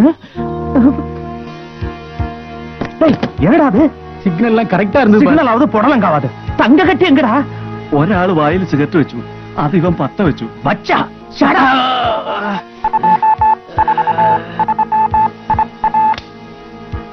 எஸ் மாசுலாமணி ஸ்பீக்கிங் யாரு முத்துவா என்னடா விஷயம் ஆ? ஆ? நிஜமாவா ஓ மை காட் ஏழு லட்சம் ரூபாய் பெருமானமுள்ள தங்க கட்டிகளை வச்சிருந்ததா? ரெண்டு அராப்ஸ போலீஸ் பிடிச்சிட்டாங்களா? அப்ப ஞங்கள் கண்டு பத்து வருஷமா என்னோட பழகிய இன்னும் சரியா தொழில புரிஞ்சுக்கலையாடா? நீங்க பார்த்த ரெண்டு பேரும் அராப்ஸ் இல்லடா சிஐடிஸ் சிஐடிங்களா சாதாரண சிஐடி இல்லடா ரொம்ப புத்திசாலித்தனமான சிஐடிங்க நம்ம ரகசிய சிக்னல எப்படியோ தெரிஞ்சுக்கிட்டு உங்கள்ட்ட இருந்த ஏழு லட்சம் ரூபாய் சரக்கு அடிச்சுக்கிட்டு போட்டாங்க பொட்டிய மாத்தினதுக்கு அப்புறம் எங்க பின்னாடி ஓடியாந்தாங்களே ஓடி வல்லடா உங்களை பிடிக்க வந்திருக்கானுங்க. நல்ல வேலை தப்பிச்சுக்கிட்டீங்க. இல்ல உங்களோட சேர்ந்து நானும் மாட்டிக்கிட்டு பாஸ் இனி நமக்கு எந்த ஐயா முதல்ல நீங்க ரெண்டு பேரும் வெளியில போங்க. அப்புறமா யோசிக்கலாம். எதுக்குடா அவங்க ரெண்டு பேரும் நம்ம பொட்டியை பிடிங்கிட்டு ஓடினாங்க? நான் அப்பவே சொல்ல இந்த மாதிரி Dress அவனுகிட்ட இருந்திருக்காதுடா. அவன் இப்ப என்ன செய்யலாம்? நேரா ஊருக்குள்ள போவோம். ஒரிஜினல் ஷேக் கூடிய நட ஒட்ட பாவனை எல்லாம் கவனிச்சு. அதே மாதிரியே ஃபாலோ பண்ணுவோம். யாரோ ஷேக்க புடிச்சு நைஸா அந்த புறத்துக்குள்ள நுழைஞ்சிருவோமா? ஏய் துபாயில தண்டனைலாம் வேற மாதிரி தெரியுமா? ஐயோ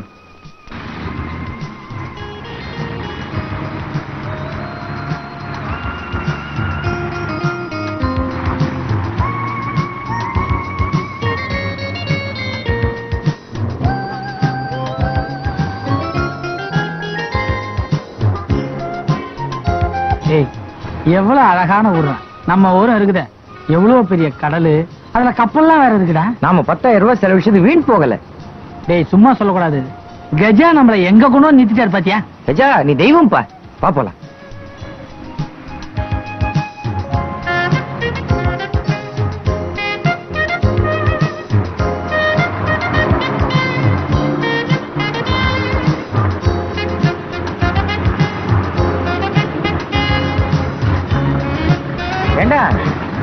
இங்க பஸ் லாரி எல்லாத்துலயும் மலையாளத்துல எழுதிருக்காங்களேடா மாடையா உனக்கு முன்னாடியே நான் பாத்துட்டேன்டா தமிழ்நாட்டுல இருந்து ஒரு நாளைக்கு நாலு பேர் துபாய் வராங்கண்ணா கேரளால இருந்து நானூறு பேர் வராங்கடா. ஓ அப்படியா? ஏய் என்னடா இது? துபாயில நம்மள தவிர யாருமே அரபு ட்ரெஸ் போடல? ஒருவேளை துபாயில இன்னைக்கு லீவா இருக்குமோ? மாடையா எனக்கு என்னமோ சந்தேகமா இருக்குடா. என்னடா பத்தாயிரம் ரூபாய் பணத்தை கொடுத்துட்டு சந்தேகமா இருக்குன்ற? பேசாம வா.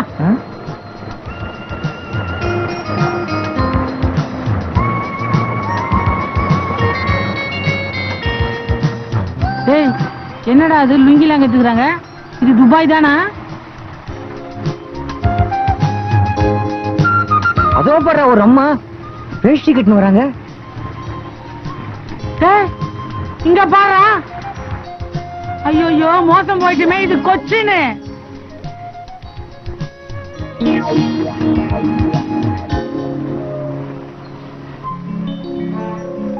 டேய் அந்த கஜா கம்னாட்டி நம்மளை ஏமாத்திட்டான்டா. அப்போ நான் கொடுத்த பத்தாயிரம் ரூபாய் காலியா? அந்த கஜா மட்டும் என் கையில கிடைக்கட்டும். பட்டாடா. ஏய் அவனை திட்டி என்னடா பிரயோஜனம் நமக்கு எங்க போச்சு புத்தி? நமக்கு என்னடா நமக்கு? உனக்கு எங்கடா போச்சு புத்தி? பிகாம் ஃபர்ஸ்ட் கிளாஸ் சொன்னீங்க பூகோளுமே படிச்சது கிடையாதா? துபாயில எதுடா கொச்சின்? சரி நான் தான் வந்துட்டேன் தெரியாம. நீ எதுக்கு வந்த? துட்டாசை தானே? விதிடா விதி. பசுவை வித்து பேங்கை ஏமாத்தி கடல்ல குதிச்சு. இவ்வளவும் பண்ணி கேரளாவுக்கா வந்திருக்கோம். இப்ப என்னடா பண்றது? முதல்ல ட்ரெஸ். இந்த ட்ரெஸ்டா ஓ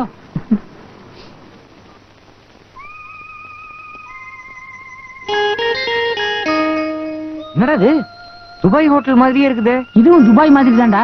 இன்னும் கொஞ்ச நாள்ல துபாய்க்காரங்க கள்ளத்தோணி ஏறி கேரளா வந்தாலும் ஆச்சரியம் இல்ல. உள்ள போலாம் வா.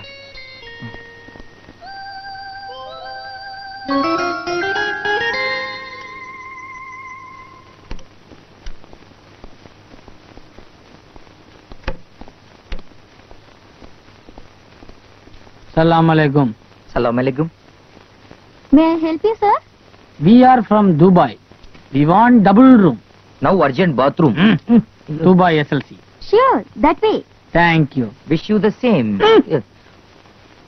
thank you இங்கேயும் வந்துட்டாங்களே. ஐயோ பாஸ் பாஸ் அவர் வீடு வந்துட்டு அந்த சீடிங்க நாம இருக்கிற இடத்தை கண்டுபிடிச்சாங்க அத உங்ககிட்ட எச்சரிக்கை பண்ணதான் ஓடியாந்தோம். என்ன எச்சரிச்சது போதும்? நீங்க எச்சரிக்கையா நடந்துங்க. டேய் அவங்க கண்ணில் படாம எங்கேயாவது ஓடி போங்க போங்கடாமா.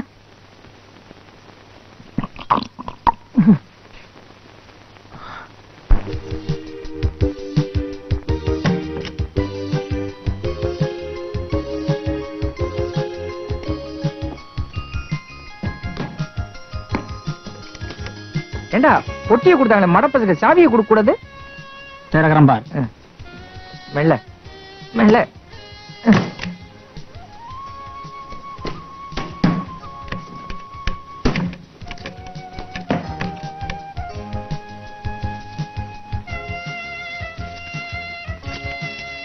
டேய் பயணி அந்த விபூதி மாதிரி இருக்கு. சிசி இல்லடா இது உப்பு! என்னடா? டேய் இது போதை மருந்து. மயக்க வஸ்துடா. ஆமா அவங்க நம்மள மயக்கி என்ன செய்ய போறாங்க? கற்பழிக்க போறாங்க. போடா. டேய் இது வெள்ள அபின். கொஞ்சோண்டு இது நாக்குல தடவனா போதும். நாலு நாளைக்கு சுரணியே இருக்காது. இதை இவனுக்கு வெளிநாடு கடத்துறானுங்க போல இருக்கு. அதான் ஆள் மாதிரி நம்ம கையில கொடுத்துட்டானுங்க. நீ சொல்றத பார்த்தா இது விலை ரொம்ப ஜாஸ்தியா இருக்கும் போல இருக்கே. ஆமாண்டா. இந்த பொட்டியில இருக்கிறது வரைக்கும் கிட்டத்தட்ட ஏழு லட்சம் போகும். எட்டு லட்சமா? இத நாம வித்தா நமக்கு என்ன கிடைக்கும்? ஆ? உனக்கு ஏழு வருஷம் எனக்கு ஏழு வருஷம் கடுங்காவல் தண்டனை கிடைக்கும் மரியாதையா போலீஸ் எடுத்து போய் கொடுத்துருவோம் அவங்களா பார்த்து ரிவார்டு எதனா கொடுப்பாங்க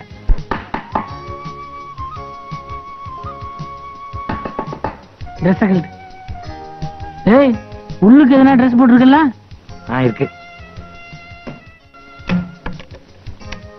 പെട്ടിയുമായിട്ട് ബാത്റൂമിൽ ഇത്ര നേരം എന്തെടുക്കായിരുന്നു பாத்ரூம்ல என்ன செய்வாங்க அசிங்கமாலாம் கேக்குறாங்க ஊனு கழிங்க ஆ. பாத்ரூம்ல ஊனு கழிக்குது வேற எங்க கழியுது എന്താണ് പറഞ്ഞ പട്ടിയുടെ മോനെ என்ன பட்டி மோனா எங்க அப்பா பேர் இவனுக்கு எப்படி தெரியும் பட்டாபி சுருக்கி பட்டின்னு தான் கூப்பிடுவாங்க பட்டினா நாயின்னு அர்த்தம்டா ஆஹா. நீ பொட்டியை தூக்கினு வா ஆ.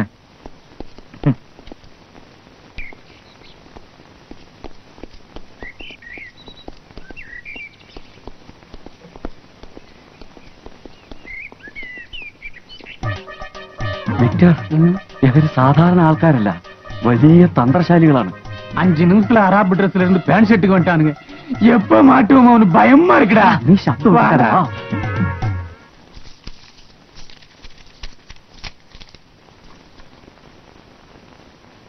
பத்தியா இதுக்கு தான் நான் போய் சொன்னேன் போலீஸ் ஸ்டேஷன் போக வேண்டான்னு இப்ப நாம தான் தயாரிச்சிருப்போம்னு அவர் சந்தேகப்படுறாரு அப்ப உனக்கு நிச்சயமா ஜெயில் தான் எனக்கா நமக்குடா ஐயோ. ഇൻസ്പെക്ടർ ഇപ്പൊ വരും ഓ നിങ്ങൾക്ക് കുടിക്കാൻ എന്തെങ്കിലും വേണോ ആ பாட்டில் பிராண்டி அடச்சி பீர் போதும் சார் എന്താ? എന്താ? ഇല്ല സാർ ഇവൻ കളവരത്തിൽ വളരെ തൊപ്പിട. Guruvayurappa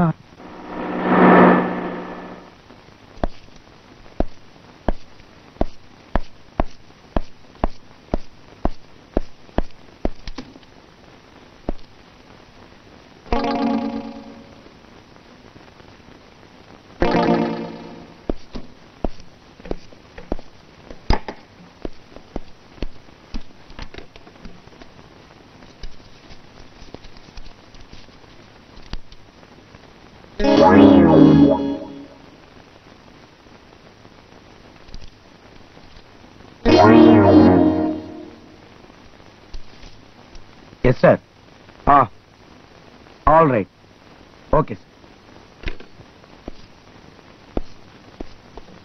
நீங்க தமிழர்களா? பச்சை தமிழர்கள் சார். இங்க எதுக்காக வந்தீங்க? சார் நம்ம கஜா இல்ல துபாய்க்கு. சார் அவன் உளறான் இந்த பாய் கடையில ஒரு டெய்லர் கிட்ட இவன் காஜா எடுத்திருந்தான். அதை தான் பயத்துல மாத்தி சொல்றான். சொல்ல வேண்டியத தைரியமா சொல்லுங்க. சொல்ற? அண்ணே. இல்ல சார் நாங்க ரெண்டு பேரும் பீச் பக்கம் சும்மா அப்படியே வாக்கிங் போயிட்டு இருந்தோம் சார் ரெண்டு தடினு இந்த பொட்டி கொண்டு வந்து கொடுத்து போயிட்டானுங்க சார் மத்ததெல்லாம் அந்த அண்ணன் கிட்ட சொல்லிட்டேன். நாங்க வரட்டுமா? கொஞ்சம் இருங்க. நீங்க கொண்டு வந்தது என்ன தெரியுமா? அபின். நான் அப்பவே சொல்லல. பாத்ரூம்ல வச்சு சொன்னேன். ம், பயங்கரமான போதைப் பொருள் விலையும் அதிகம். நம்ம என்ன வியாபாரமா பேச போறோம்? நீங்களே வச்சீங்க. நாங்க வரட்டுமா? யோ இரியா. புரியுது சார். அவர் தானே? அதுக்கு என்ன அவசரம்? நாங்க மெதுவா வந்து வாங்கிக்கிறோம். அது இல்லப்பா. நீங்க இங்க இருந்து வெளியில போக முடியாது. நீங்க வெளியில போகணும்னா யாராவது உங்களுக்கு ஜாமீன் கொடுக்கணும். உங்களுக்கு ஜாமீன் கொடுக்க யாராவது இருக்காங்களா? சார் நாங்க இப்பதான் கேரளாக்குள்ளேயே நுழைஞ்சிருக்கோம் எங்களுக்கு யாரு தெரியும்? எவன் சார் எங்களுக்கு ஜாமீன் கொடுப்பான்? லுக் இயர் சட்டபூர்வமா செய்ய வேண்டிய சில கடமைகள் எங்களுக்கு இருக்கு. நாளைக்கு இந்த ஸ்மக்லர்ஸ் நாங்க அரெஸ்ட் பண்ணா நீங்க தானே வந்து அடையாளம் காட்டணும். ஆகையினால ஜாமீன் இல்லாம உங்களை வெளியில விட முடியாது. சார் ஒண்ணு செய்யலாம். நீங்களே எங்களுக்கு ஜாமீன் கொடுத்துருங்க.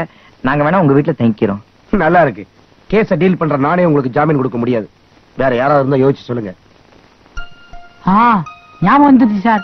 ஊர்ல எங்க வீட்டுக்கு பக்கத்துல கண்ணாயர்னு ஒருத்தர் இருந்தாரு. அவர் இந்த ஊர்ல தான் எங்கேயே டாக்ஸி ஓட்டுறாரு. அவரை பிடிச்சோம்னா எங்களுக்கு ஜாமீன் கொடுப்பாரு சார். டாக்ஸி டிரைவர் தானே? கண்டுபிடிச்சிடலாம்.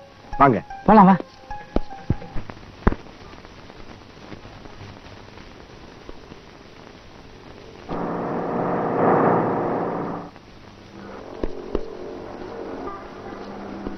சந்தேகமே இல்ல. அவங்க சிஐடிஸ் தான். இன்ஸ்பெக்டரோட சரி சமமா உட்கார்ந்து வரத பாரு போடா.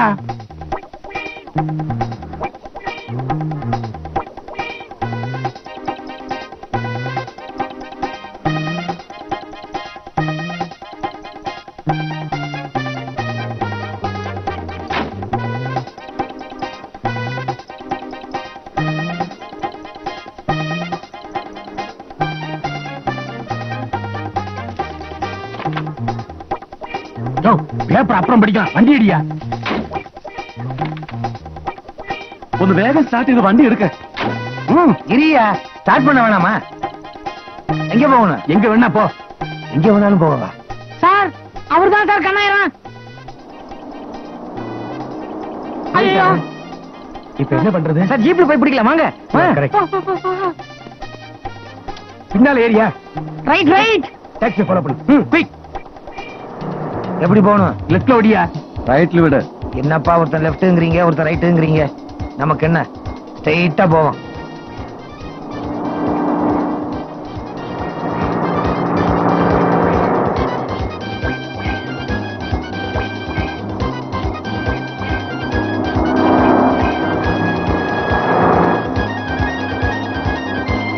டிரைவர் குறை கூட ஸ்பீடு இந்த வண்டியில் எவ்வளவுதான் ஸ்பீடு ஸ்பீடு பத்தாதியா? வேகமா போ. வேகமா போகணும்னா பிளேன்ல போக வேண்டியதானே வண்டியில வந்து ஏன் ஏறினீங்க? சாவு கிராக்கி.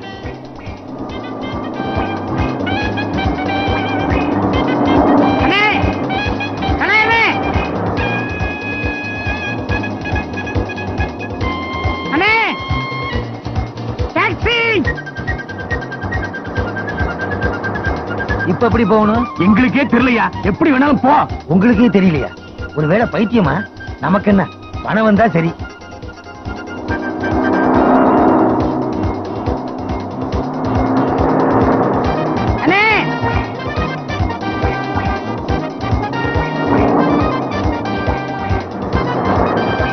எல்லா இடமும் சுத்தியாச்சு.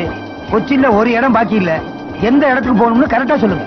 போனா போயிட்டேரியா கேள்வி கேட்டா எனக்கு பிடிக்காது. பட்டிடம் போனே பறையினர் கேக்கடா.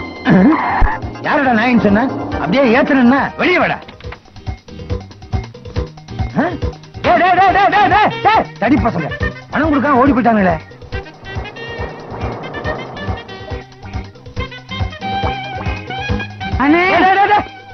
யாருப்பா நீ? சார் நான் ஒரு தப்பு பண்ணல. யாருப்பா நீ? நான் தானே. என்ன தெரியலையா? தெரியாதனாலதான் கேக்குறேன். விசாலத்தோட மகனே. எந்த விசாலம்? என்ன மிஸ்டர்? இல்ல சார் அவர் சுய நினைவு இல்லாம இருக்கிறாரு. நான் நினைவு வர வைக்கிறேன். உங்க வீட்டு கிணத்துல தண்ணி இல்லாத போது. நீ தான் தண்ணி பாய்ச்சினியா? அது இல்லனே பக்கெட் விழுந்து போச்சு. அதை நான் தானே எடுத்து கொடுத்தேன். பையன். ரமணி. என்னைய கேட்டீங்க சொல்றா? இல்ல இன்ஸ்பெக்டர் நீ யாரு? ரமணி. அதான் யாருன்னு கேட்டேன். கிணத்துல இருந்து சொம்பு எடுத்து கொடுத்தேனே. அந்த சிஐடிக்கு தான் உங்களை ஃபாலோ பண்றாருல்ல நீங்க ஏன் அவனுக்கு முன்னாடி முன்னாடி போய் நிக்கிறீங்க? அட நீங்க ஒண்ணு. நாங்க முன்னாடி போனா பின்னாடியே வரானுங்க. நாங்கள் எந்த செய்யும்? ஓகே இமிடியட்டா நாம இந்த ஹோட்டல காலி பண்ணி போயிட உங்க ரெண்டு பேரையும் ஃபாலோ பண்ணி அவன் என்ன பிடிக்கிறதுக்கு முன்னால நாம எங்கேயாவது இடம் மாறி போயிட வேண்டியதான் அதுக்கு முன்னால உங்க ரெண்டு பேரையும் பிடிச்சிட்டானுங்கன்னு வை எந்த காரணத்தை கொண்டு என் பேரை சொல்லக்கூடாது ഞങ്ങളുടെ ഉയിര് പോയാലും പറയില്ല സാർ இன்னைக்கு காலையில என் டாக்ஸில ரெண்டு பேரும் ஏறினானுங்க சுத்தோ சுத்தம் சுத்தி விட்டு கடைசியில துட்டே கொடுக்காம போயிட்டானுங்க அயோக்கிய பசங்க முன்னையெல்லாம் எனக்கு தமிழனை கண்டா ரொம்ப பிடிக்கும் இப்ப வர வர தமிழன் கண்டா பிடிக்கவே மாட்டேங்குது ஏண்ணே எப்ப எங்க மாறுறான்னு சொல்லவே முடியலையப்பா நாங்க அப்படி இல்லனே ஒரு தடவை மாறிட்டோம் அங்க இருந்து போகவே மாட்டோம் அடுத்த மாற்றம் வர வரைக்கும் அண்ணே நீங்க நினைக்கிற மாதிரி நாங்க பிக் பேக்கெட்டோ புள்ள பிடிக்கிறவங்களோ இல்ல. ரொம்ப நாணயமானவங்க. வெரி குட் ஒரே ஒரு தடவை பேங்கை ஏமாத்திட்டோம். கையேற அண்ணே அவன் தப்பா சொல்றான். நாங்க நிறைய பணம் சம்பாரிச்சு பேங்க்ல போடலாம்னு போனோம். அந்த பேங்க் திவால் ஆயிடுச்சு அதனால பேங்க் தான் ஏமாத்திருச்சு அப்ப பேங்க் மிஸ்டேக். அது சரி. கேரளாவுக்கு எதுக்கு வந்தீங்க? ஏன் வந்தீங்க? உங்க கதையை சொல்லுங்க. ஒரே ஒரு ஊர்ல ஒரு இப்படி சொன்னா ஒரு வருஷம் ஆயிரும். நான் சுருக்கமா சொல்றேனே. கிபி ஆயிரத்தி தொள்ளாயிரத்தி எண்பத்தி எட்டாவது வருஷம். கிழிஞ்சது போ. இப்படி சொன்னா இருபதாம் நூற்றாண்டு ஆயிரும். அதுக்கு ஒரு வருஷமே பரவாயில்ல. நீ சொல்லுப்பா. சுமார் பத்து மாசத்துக்கு முன்னாடி கர்ப்பமா இருந்தியா? அண்ணே எங்க கதையை உங்ககிட்ட சொல்றதுக்கு காரணமே நீங்க எதனா எங்களுக்கு உதவி பண்ணுவீங்கன்னு தான். எனக்கே யாராவது உதவி பண்ணுவாங்களான்னு நான் இருக்கேன். என்ன முழுசா நம்பிராதீங்க. அவ்வளவுதான்.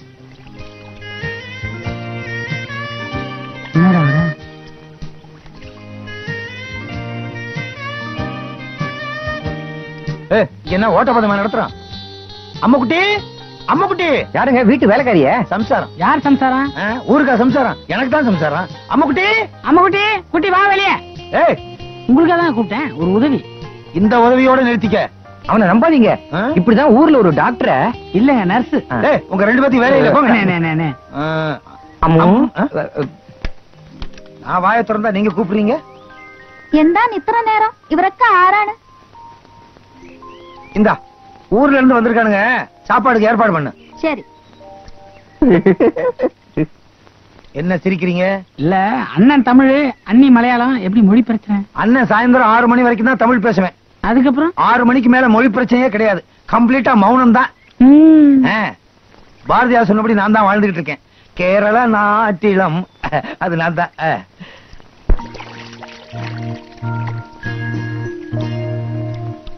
இந்த பாருங்கப்பா. நாளைக்கு சாயந்தரம் நாலரை மணிக்கு ட்ரெயின் இருக்கு. டிக்கெட் வாங்கி தரேன். ஒழுங்கா மரியாதையா ஊர் போய் சேருங்க. அண்ணே எனக்குன்னு யாருமே கிடையாது. எங்க அப்பா இறந்ததுக்கு அப்புறம் எங்களுக்கு இருந்த சொத்தெல்லாம் வித்து என்னை படிக்க வைக்கிறதுக்கும் என் தங்கச்சியை கல்யாணம் பண்றதுக்குமே எங்க அம்மா செலவு பண்ணிடுச்சு. அம்மாவுக்கு இருக்கிற ஒரே பிரச்சனை நான் எப்படியாவது கரை சேரணும் தானே. தங்கச்சி வீட்டில் அம்மா ஒரு அனாதமா இருக்காங்கண்ணே. அவங்க படுற கஷ்டம் கொஞ்சம் நெஞ்சம் இல்லை. ஆனா அவங்க அதெல்லாம் வெளில சொல்றதே இல்லை. இதெல்லாம் எனக்கு தெரிஞ்சிருந்தோம். என்னாலையும் ஒன்றும் பண்ண முடியறதில்ல. எங்க அம்மாவோட ஒரே ஆசை என்னைக்காவது நான் பெரிய ஆளாகி அவங்கள கூட்டு வந்து என் கூடவே வச்சுக்கொண்டுதான் நான் கார் வேணும் பங்களா வேணும்னு கேட்கலனே எனக்குன்னு ஒரு சின்ன வேலை வயசான காலத்துல. அவங்களுக்கு நான் இந்த நிம்மதி கூட கொடுக்கலனா அப்புறம் அவங்களுக்கு பிள்ளையா பிறந்து என்ன பிரயோஜனம்? கவலைப்படாதீங்கப்பா. எனக்கு தெரிஞ்ச பெரிய மனுஷன் ஒருத்தர் இருக்காரு.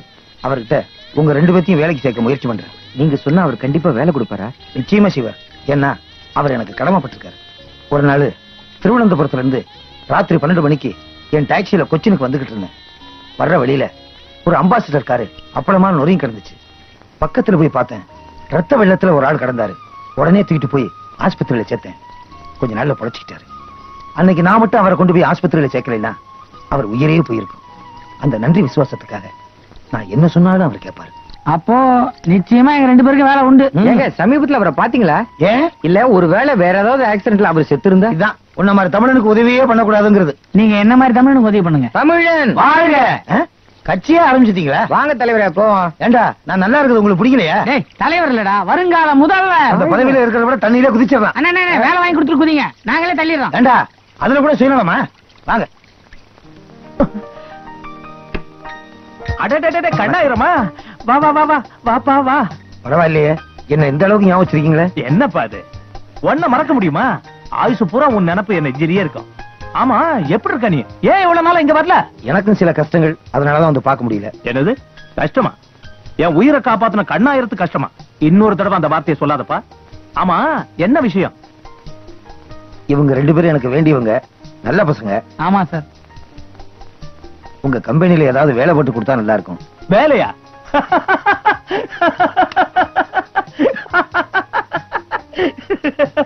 இத கேக்குறதுக்கு ஏன்பா இவ்வளவு தயக்கம்?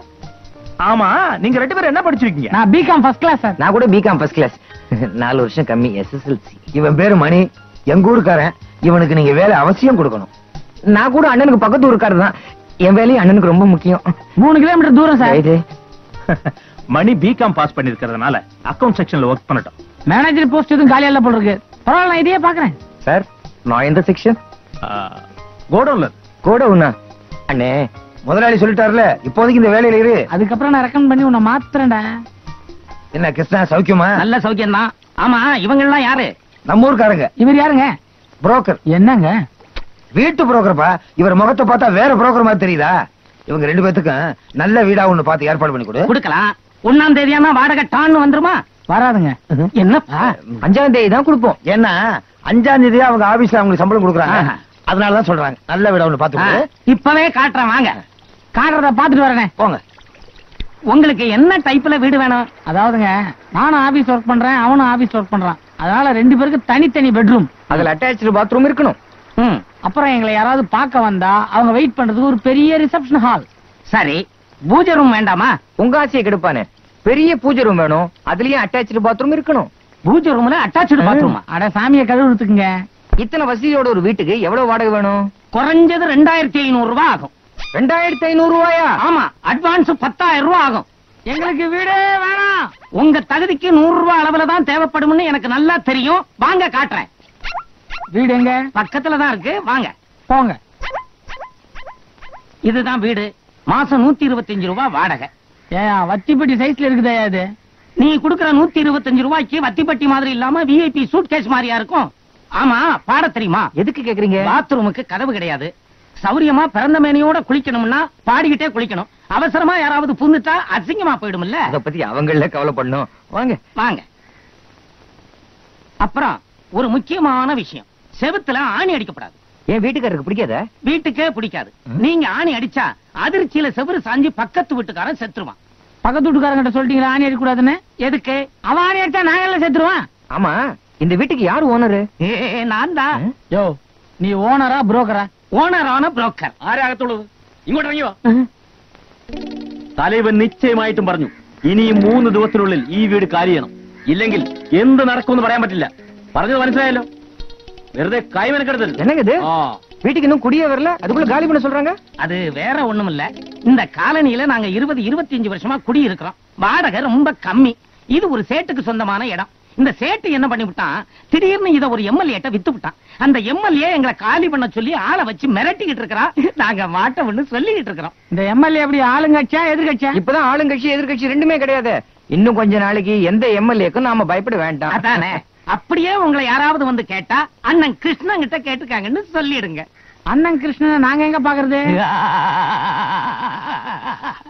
பக்கத்து தெருவுல ஒரு சின்ன வீடு ஒண்ணு செட்டப் பண்ணிருக்கேன் பெரும்பாலும் அங்கதான் இருப்பேன் இதை விட சின்ன வீடா சமாதியா இருக்கும் വരൂ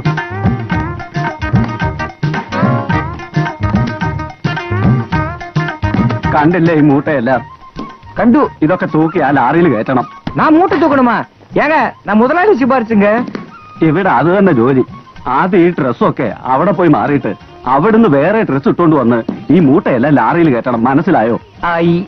ആ. പണി. ദ്രോഹി. എസ് എൽ സി പഠിച്ചെന്ന് മൂട്ട് തൂക്കരുത്. ചേട്ടാ ഞാൻ M A. M A boss രണ്ടു ദിവസമായിട്ട് ആ സീഡുകളെ ഞങ്ങളുടെ കണ്ണിൽ കണ്ടിട്ടേ ഇല്ല അത് പറഞ്ഞിട്ട് പോകാനായി വന്നതാ. പോടാ പോടാ മൂദേവി. വേണ്ട പെരുമയാ സ്വല്ല വന്നിട്ടിയാ? போலீஸ வேணாலும் ஏமாத்திடலாம்டா ஆனா அந்த சிஐடிகளை ஏமாத்தவே முடியாது எங்க வேணாலும் இருப்பானுங்க അത് ശരി കളവ് പോയ ചരക്കിന് പകരം വേറെ ചരക്ക് ഏർപ്പാട് ചെയ്തിട്ടുണ്ടോ முதல்ல அந்த சிஐடிங்க நடமாட்டம் கம்மியாட்டும் அதுக்கப்புறம் யோசிப்போம் யாரோ வராங்க போடா உள்ள எஸ் கமின் சார் வணக்கம் சார் என்ன மணி சார் அக்கௌண்ட் செக்ஷன்லயே அரை மணி நேரமா நிக்கிறேன் யார்கிட்ட பேசுறது என்ன வேலை பாக்குறதுன்னு தெரியல சார் எல்லாரும் தள்ளி நில்லு தள்ளி நில்லு என்ன விரட்டுறாங்க சார் அப்படியா கொஞ்சம் ஹலோ அக்கவுண்ட் டிபார்ட்மெண்ட்ல கொஞ்சம் வர சொல்லு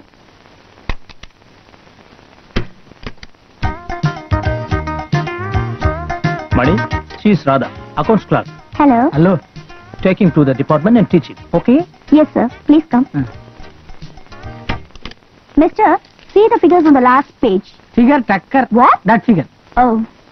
Column number one, audited figures for the latest financial year as on 31-12-88. Column number 2, audited figures for the previous financial year as on 3-12-88. Column number 3, profit before tax. Column number 4, profit after tax. Okay? Uh, account number Balachandran account number 1200. சரியான மரியாதை தெரியாத முண்டமா இருக்கிறான் ஒரு ஆம்பளை நான் நிக்கிறேன் என்ன நிக்க வச்சுக்கிட்டு உட்காந்துக்கிட்டு அவ திமிரு அடியே உன்னெல்லாம் சுண்ணாம்பு காலில் வச்சு சுடணும் முடியே மிஸ்டர் நான் ஒரு தமிழ் பெண். என் சொந்த ஊர் மதுரை. இந்த கம்பெனி ஓனர் இருக்காரே அவரும் ஒரு தமிழர். இப்ப நீங்க என்ன திட்டினீங்களே அதெல்லாம் கொண்டு போய் அவர்கிட்ட வச்சு வச்சேன்னா உங்க சீட்டு கிழிக்கப்படும். தெரியுமில ஐயோ என்னங்க இது? உங்களுக்கு தமிழ் தெரியாதோன்னு ரெண்டு ஒரு வார்த்தை தப்பா பேசிட்டேன். இப்ப நீங்க பேசுறது ரெண்டு ஒரு வார்த்தை இல்லைங்க பதினாறு வார்த்தைகள். நீங்க நல்லா கணக்கு போடுறீங்க. அதனால தான் உங்களை அக்கௌண்ட் செக்ஷன்ல போட்டிருக்காங்க. நான் கூட நல்லா கணக்கு பண்ணுவேங்க. இப்ப கொஞ்சம் வேலையை பார்ப்போமா? இப்ப நீங்க பார்த்தது profit and loss ledger I will show you the previous balance sheet, okay? Oh, uh, by the you know... Um,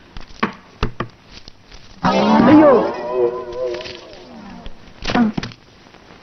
Bloody nonsense, stupid! Thank you, thank you.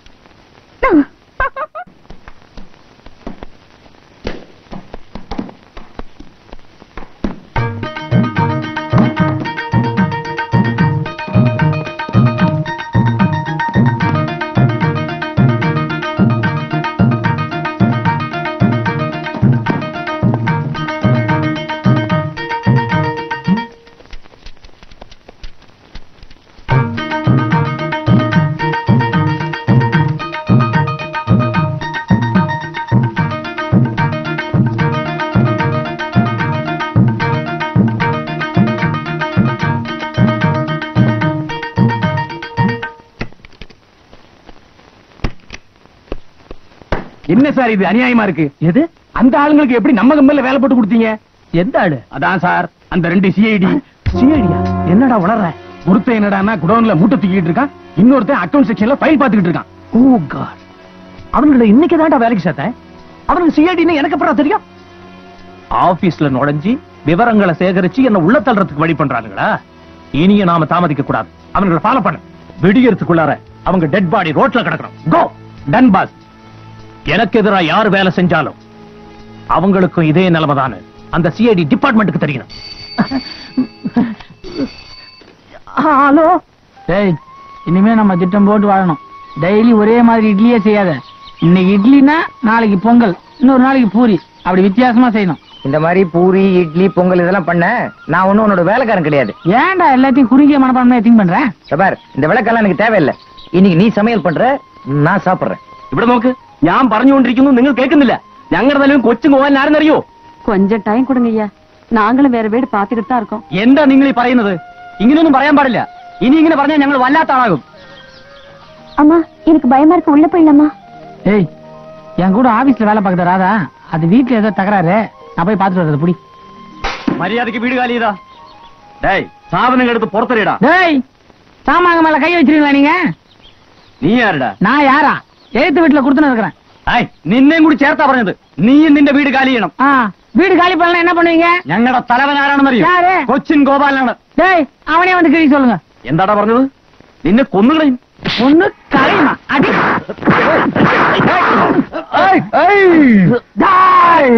நீயா? நான் தான் வாங்க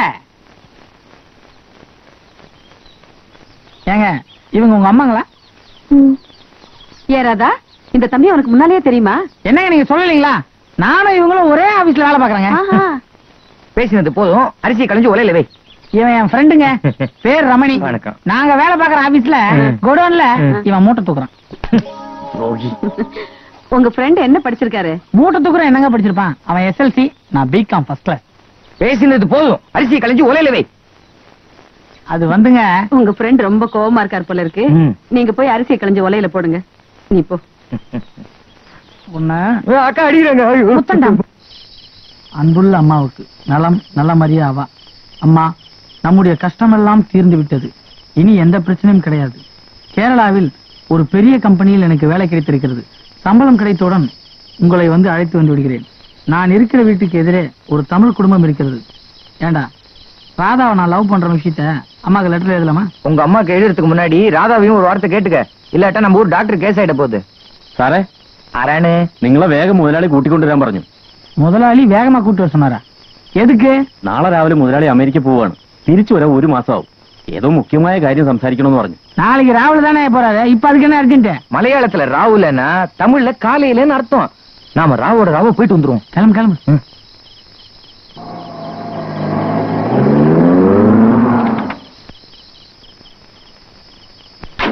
எங்கயா முதலாளி ദേ അവിടെ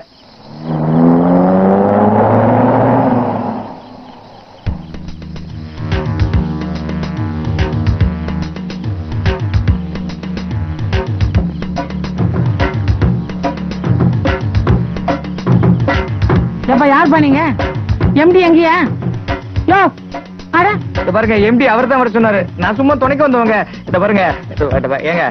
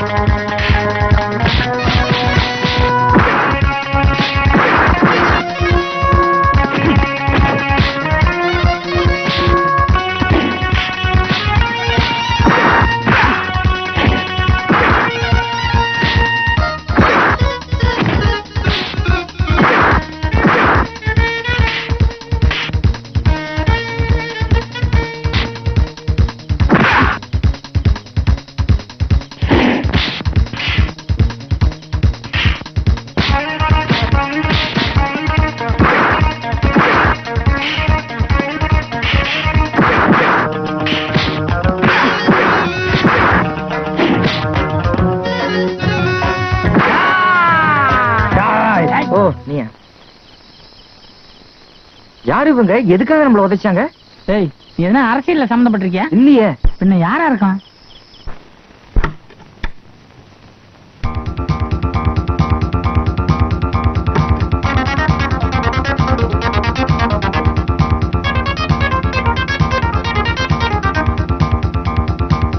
நீங்க நினைக்கிற மாதிரி அவ்வளவு தப்பான வழியில போறவன்ல அப்படி சந்தேக கண்ணோட பாக்காதீங்க நேத்து ராத்திரி நீங்க கூப்பிட்டு சொல்லி எங்களை கூட்டு போய் க்ளோஸ் பண்ண பார்த்தாங்க.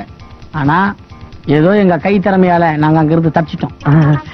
உங்களை அவ்வளவு சீக்கிரத்துல அடைக்கிற முடியாத? நீங்க அடிதடி ட்ரைனிங் எல்லாம் எடுத்திருப்பீங்களே? ட்ரைனிங்க சார் யாரு? இவனையா நீங்க சார்னு கூப்பிட்டீங்க? ஆஹா, உங்க ரெண்டு பேரும் தான் சார் என்ன சார் நீங்க? நாங்க உங்க கீழே வேலை பாக்குறோம் எங்களை போய் சார் மோருன்ட்டு. எதுக்கு சார் மரியாதை கொடுத்து எங்களை கெடுக்குறீங்க? நீங்க சம்பளம் கொடுக்குறீங்க. நாங்க எங்க கடமையை செய்யறோம் எஸ் அது உங்க கடமை. ஆனா அதுதானே என் வயித்த கலக்குது. இந்த பாருங்க யூனியன் லீடர்ஸ் வந்திருந்தாங்க. உங்களுக்கு வேலை கொடுத்தது அவங்களுக்கு பிடிக்கல. அதனால அதனால எங்களை வேலையை விட்டு துரத்துட்டு போறீங்களா? கோச்சுக்காதீங்க. ரெண்டு மாசம் டைம் கொடுங்க. அதுக்குள்ளார உங்களுக்கு ஒரு முடிவு கட்டிடுறேன். சார் உங்க விஷயத்தை பத்தி யூனியன் லீடர் கிட்ட பேசி ஒரு முடிவு கட்டிடலாம்னு சொல்றேன். அப்ப ரெண்டு மாசம் கழிச்சு எங்க ரெண்டு பேருக்கும் பர்மனண்டா ஒரு வேலை போட்டு கொடுத்துருவீங்களா? பர்மனண்ட் பர்மனண்ட் எங்க ரெண்டு பேருக்கும் ரெண்டு மாசத்துக்கு வேலை இல்ல. உங்களுக்கு தான் இந்த வேலை தேவையில்லையே. நீங்க பெரிய புத்திசாலிங்களாச்சே. அப்ப போயிட்டு வாங்க.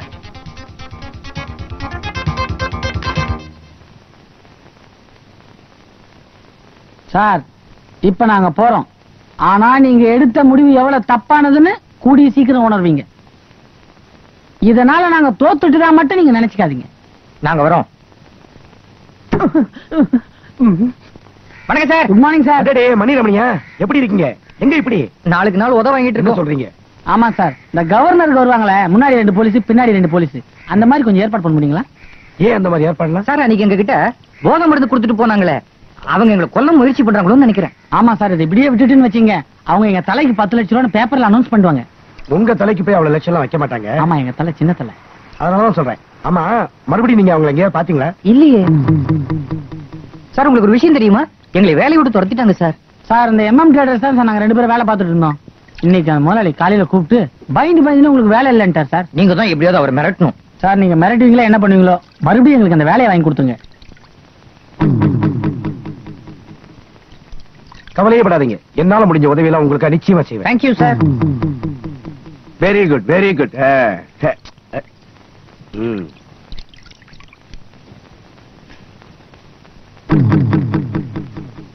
நீங்க எங்க உட்காந்துட்டீங்க போற வழியில அப்படியே பஸ் ஸ்டாண்ட்ல இறக்கி விட்டுருங்க.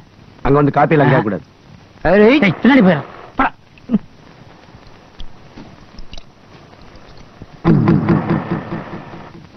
அப்பா அப்பா ஐயோ அடே தவணை முறையில அடிக்கிறீங்களே. நான் என்ன தப்பு பண்ணேன்? ஏய் ஆறானவர். யாரு? ஒண்ணும் தெரியாத மாதிரி நடிக்காத. ஒழுங்கா பதில சொல்லு. இல்ல வாய் வெத்தலை வாக்கு போட்டுரும். ஏன் சிகரெட் குடிக்காதா? பேசாத. உனக்கும் அந்த ரெண்டு பேருக்கும் என்ன கனெக்ஷன் அம்மா முதுகுல அடிக்காதீங்கடா மருந்து போட முடியாது கழுத்துல அடிச்சா வசதியா இருக்கும் ഞങ്ങളുടെ കേൾവിക്ക് ബദിൽ പറഞ്ഞില്ലെങ്കിൽ എല്ലുമ്പ് നുറുക്കി കളയും அஹ், எலும்பையே கலைக்கிறீங்களா நான் கர்ப்பத்தை கலைக்கிறதா கேள்விப்பட்டிருக்கேன் என்னங்கடா சுத்த விடுறீங்க கிண்டெல்லாம் பண்ணாத எம்என் பேடஸ்ல வேலை சேர்த்திய ரெண்டு பேரு யாரவங்க ஒருத்தன் எங்க ஊருக்காரன் இன்னொருத்தன் எங்க ஊரு பாட்டுக்காரன். சீ எங்க ஊருக்கு பக்கத்து ஊருக்காரன். இத தவிர வேற ஒண்ணுமே தெரியாது. அப்பா ஐயோ கேரளாவுக்கு இது தெரிஞ்சா மாட்டேனே இப்படி அடிக்கிறாங்களே அம்மா அம்மா அம்மா, ஐயோ. இரு ஒண்ணு அப்புறம் கொஞ்சம்.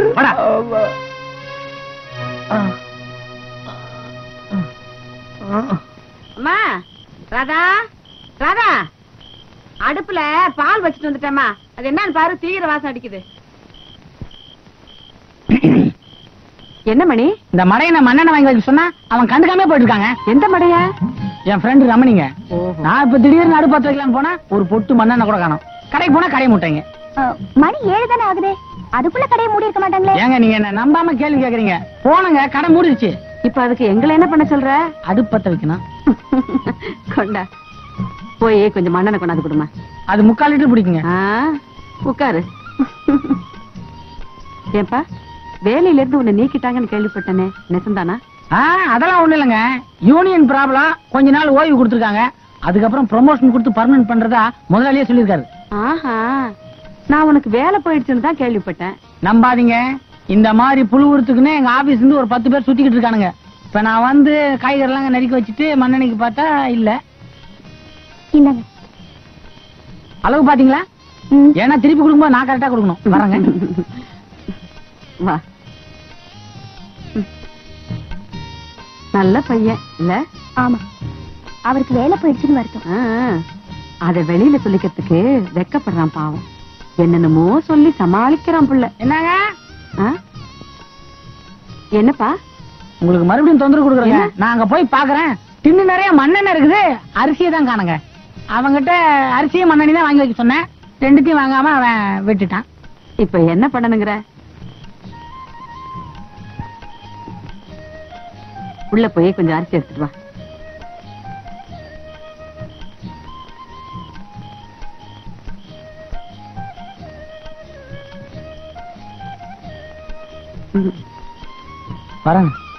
மணி வீட்டுல மண்ணெண்ணெய் நிறைய இருக்குன்னு சொன்னியே.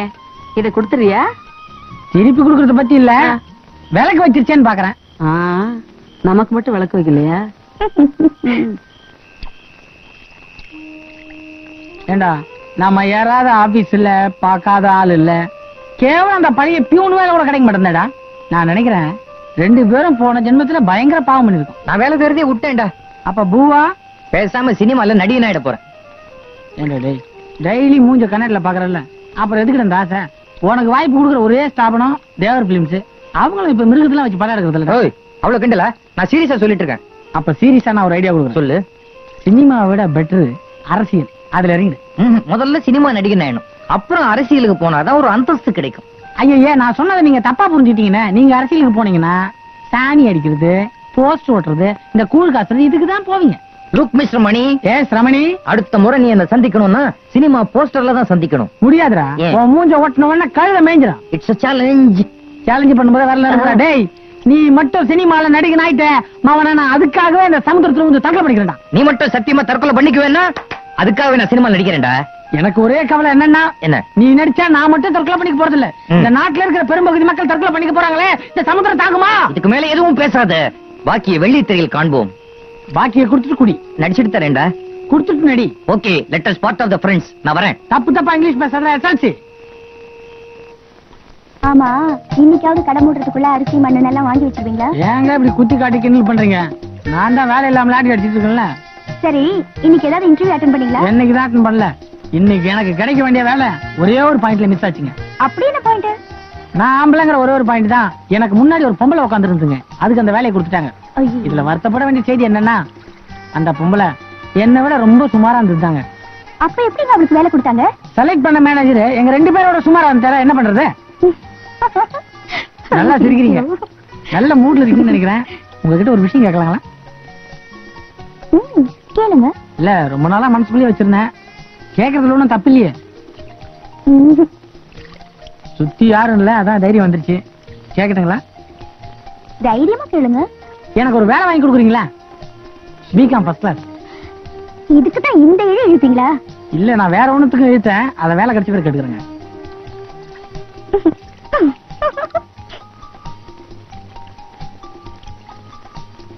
ஏங்க நான் உங்களை ஒண்ணு கேட்கணும். கேட்டா கேளுங்க. கோச்சிக்க மாட்டீங்களே. ரொம்ப நாளா கேட்கணும்னு ஆசை. ஆனா பயமா இருக்கு. எதுக்கு பயந்துட்டு தைரியமா கேளுங்க. நீங்க பிகாம் படிச்சது உண்மையா? அடிச்சு தண்ணிலே தள்ளு தெரியுமா? ஆ, எனக்கு இருக்கிற ஒரே குவாலிஃபிகேஷன் பிகாம் ஃபர்ஸ்ட் கிளாஸ் அத போய் சந்தேகப்பட்டுக்கிட்டு நான் என்னமோ ஏதோ நினைச்சு. சாரிங்க சரி சரி வாடி. ஆ? சாரி வாங்க.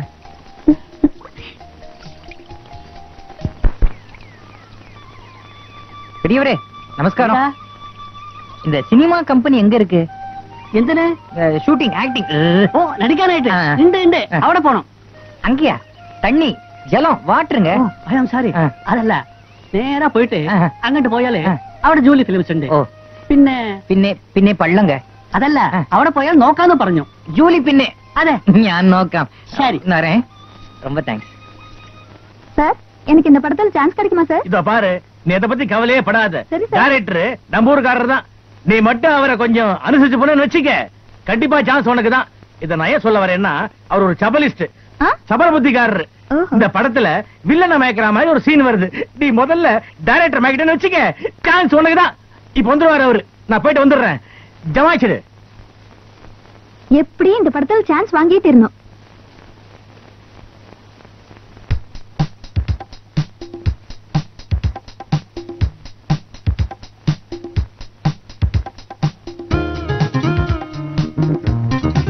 Julie Films Cochin. இதான் எப்படி இவங்க கம்பெனி படத்துல நடிக்க சான்ஸ் வாங்கி ஆகணும். நமஸ்காரம். வாங்க வாங்க. உங்களை தான் எதிர்பார்த்துட்டு இருந்தேன். என்ன நீங்க எதிர்பார்த்துட்டு இருந்தீங்களா? என்னடா அது இந்த கிண்டல் தானே வேணாங்கிறது. நல்லாவே நடிக்கிறீங்களே. நான் நல்லா நடிக்கிறேனா? ரொம்ப தேங்க்ஸ்ங்க இது சின்ன சாம்பிள் தான். என்னோட முழு திறமையை நீங்க பாத்தீங்கன்னா வேணாங்க. உங்களை பத்தி அவரு நல்லாவே சொல்லிருக்காரு யாரு? என்னங்க? என்னங்க இது? உங்களுக்காக இந்த அபல அல்லும் பகலும் துடிச்சிட்டு இருக்கிறது. உங்களுக்கு தெரியலையா? ஏங்க என்னங்க இது? ஏங்க ஏங்கன்னு நீங்க சொல்றது. என்ன ஏங்க வைக்குதுங்க என் இதையும் துடிக்கிறது? உங்க காதுல வெளியா ஐயோ ரொம்ப துடிக்குதுங்க. மூச்சு முட்டி இங்கேயே செத்துருவேன் போல இருக்குங்க. ஏங்க நீங்க இப்படி பயப்படுறீங்க? இங்க நம்ம ரெண்டு பேர் தானே இருக்கோம். இத பாருங்க உங்களை பத்தி அவர் நிறையவே சொல்லிருக்காரு? எனக்கு எந்த ஆட்சேபனும் இல்ல. நான் எப்படியாவது முன்னுக்கு வந்துடணும் வேணாங்க விட்டுருங்க விட்டுருங்க. பயங்கரமா வேர்க்குதுங்க. புரியுதுங்க புரியுது. அவர் எல்லாத்தையுமே என்கிட்ட சொல்லிருக்காரு யாரு சொல்லிருப்பாங்க?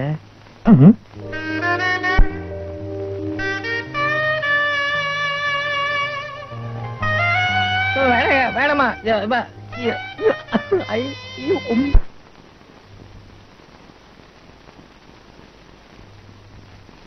உன்னை கொன்னுடுவேன். வேணாண்டி. என்னடி நினைச்சிட்டு இருக்க? கிட்ட வராத. கிட்ட வந்தா சுட்டுருவேன். என்னோட கற்ப காப்பாத்துக்கு என்ன வேணாலும் பண்ணுவேன். யாரா இருந்தாலும் சுட்டுருவேன்.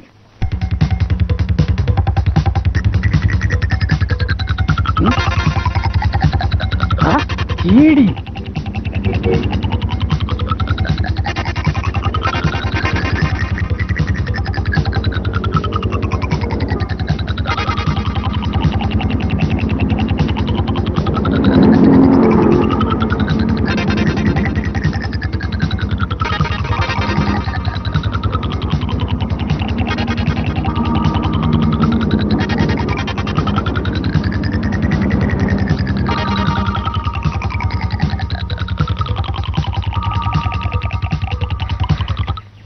സാറേ ചാൻസ് കിട്ടിയോ കിട്ടിയ യോ എന്ന മതി അടുത്തേക്ക് നീ എന്നെ അമിച്ച എന്താ ഇത് സിനിമയിൽ ഉപയോഗിക്കുന്ന ഡമ്മി തുപ്പാക്കിയാണ് ബൊമ്മ തുപ്പാക്കിയ അതെ ഛീ.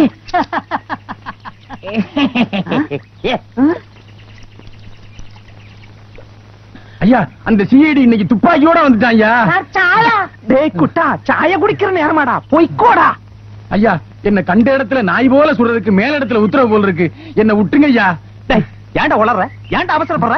சும்மாறா கோவாவுல இருந்து நம்ம சரக்கு கேட்டு கோபுரா இப்பதான்டா போன் பண்ணா. நாம இதுவரைக்கும் செஞ்ச பிசினஸ்லயே இதான்டா பெரிய பிசினஸ் அதனால எனக்கு நல்ல லாபம் வரும். உனக்கு நல்ல பணம் கிடைக்கும். இந்த நேரத்துல போய் கழுத்த இருக்கிறிய சொல்றேன் வாடா. வர்றா நம்ம பார்ட்டி கிட்ட சொல்லி ஏழு லட்சம் ரூபாய்க்கான ஒயிட் அப்படின்னு ரெடி பண்ண சொல்லு. கோபுரம் அவசரக்காரன். அவன் வெயிட் பண்ண மாட்டான். வந்த உடனே பிசினஸ் முடிச்சிடணும். சரிதான் சார் அந்த சிஐடியை நினைச்சா தான் டேய் இவ்வளவு பெரிய உடம்பு வச்சிருக்கல கொஞ்சம் தைரியமாடுறா ஓகே சார். அந்த சிஐடியில நினைச்சா எனக்கு தான் பயமா இருக்குது.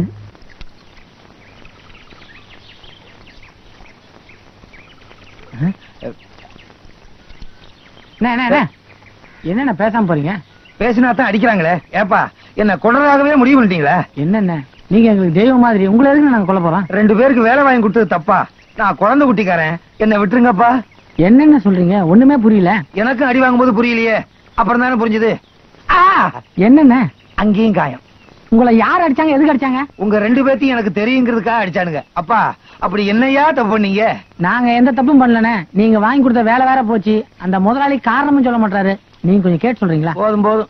இதுக்கே இந்த அடி. இன்னும் கேட்டு சொன்னா எந்த அடியோ? நான் வர்றேன்ப்பா. அம்மா அப்பா. அண்ணே? இப்ப நான் உங்களை பார்க்க வந்ததுக்கு காரணமே நான் சாப்பிட்டு நாலு நாள் ஆச்சு. தண்ணியை குடிச்சே கால் தோட்டிட்டு இருக்கேன். இதே கை கால் இல்லாதவன் வியாதிஸ்தரன் இருந்தா பிச்சை எடுத்து அதை பொழைச்சிக்கலாம். எங்களுக்கு அந்த தகுதி இல்லாம போச்சு.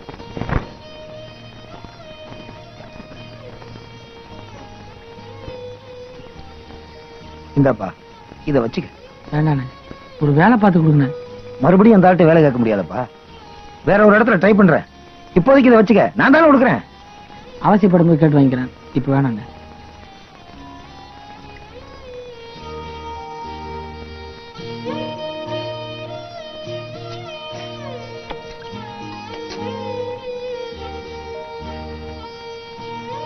என்ன இன்னைக்கு பூரா ஆளைய காணும்னு அம்மா சொன்னாங்க? வேலை மும்முரமா தேடுறீங்களா? வேலையை நான் தான் தேடிட்டு இருக்கேன்.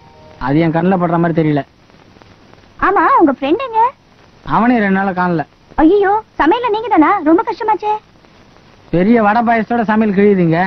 எங்க கஷ்டம் எதுக்குமா? நீ எதுக்கு வந்தீங்க கோச்சுக்காதீங்க.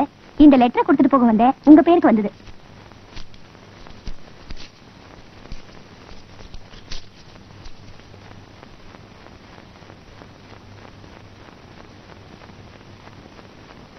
என்ன லெட்டர் அது? ஒண்ணும் இல்ல. ஒரு சின்ன சமாச்சாரம் தான். எங்க அம்மா இறந்துட்டாங்க.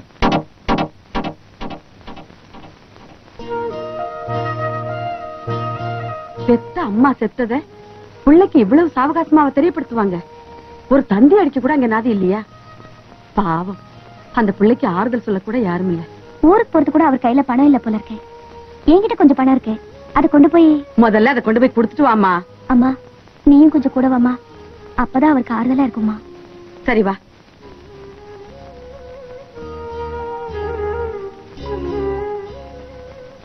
ஏன் தம்பி? ஊருக்கு போறதுக்கு பணம் இல்லைன்னா சொல்லக்கூடாதா? இந்தாப்பா சீக்கிரம் புறப்படு. வேணாங்க. எல்லாம் முடிஞ்சு மூணு நாள் ஆகும். இனிமே நான் போய் யாரை பார்க்க போறேன்? அது எப்படி தம்பி உனக்கு கூட தெரிவிக்காம? மாமா என் அட்ரஸ் எல்லாம் தேடி பார்த்திருக்காரு. கிடைக்கல. நேத்து அம்மா பொட்டியை உடைச்சு பார்த்திருக்காங்க. அதான் லேட்டா வந்து சேர்ந்துருக்கு. எதா இருந்தாலும் ஊருக்கு போய் எல்லாரையும் பார்த்துட்டு வந்தா மனசு கொஞ்சம் ஆறுதலா இருக்கும்பா. வேணாமா நான் ஊருக்கு போறதா இல்ல. இனிமே இந்த உலகத்துல எனக்கு யார் இருக்கா?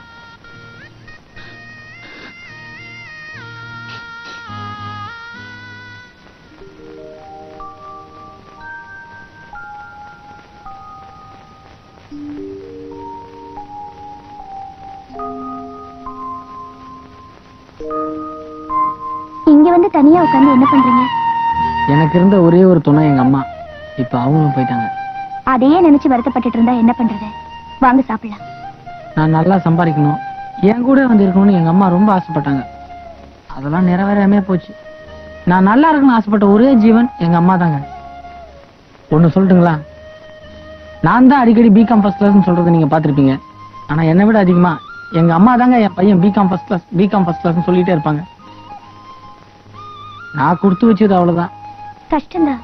இல்லைங்களே உங்களுக்கு உங்க அம்மா எப்படியோ அப்படிதான் எனக்கு எங்க அப்பா இருந்தாங்க. எங்க அப்பா ஒரு லாரி டிரைவர் காலையில என் கையில இருந்து டிஃபன் பாக்ஸ் வாங்கிட்டு வேலைக்கு போனார். சாயந்தரம் திரும்பி வந்து உன்னை சினிமாவுக்கு கூட்டிட்டு போறேன்னு சொன்னார். போனவர் திரும்பி வரவே இல்லை. ஆம்புலன்ஸ் வண்டியில அவர் உடல் தான் வந்தது. எங்க அப்பா ஒரு ஆக்சிடென்ட்ல இறந்து போயிட்டார். ரொம்ப நாள் ஆகியும் என்னால அதை நம்பவே முடியல. பராந்தால உட்காந்துக்கிட்டு எங்க அப்பா என்ன ராதான்னு கூப்பிடுற மாதிரியே எனக்கு ஒரு எண்ணம் தோணுது அதையெல்லாம் என்னால மறக்கவே முடியல இதை உங்ககிட்ட சொல்லக்கூடாதுன்னு தான் நினைச்சேன் ஆனா உங்களுக்கு எப்படி ஆறுதல் சொல்றதுன்னே எனக்கு தெரியல அதனாலதான் சொன்னேன் வாங்க சாப்பிட போலாம்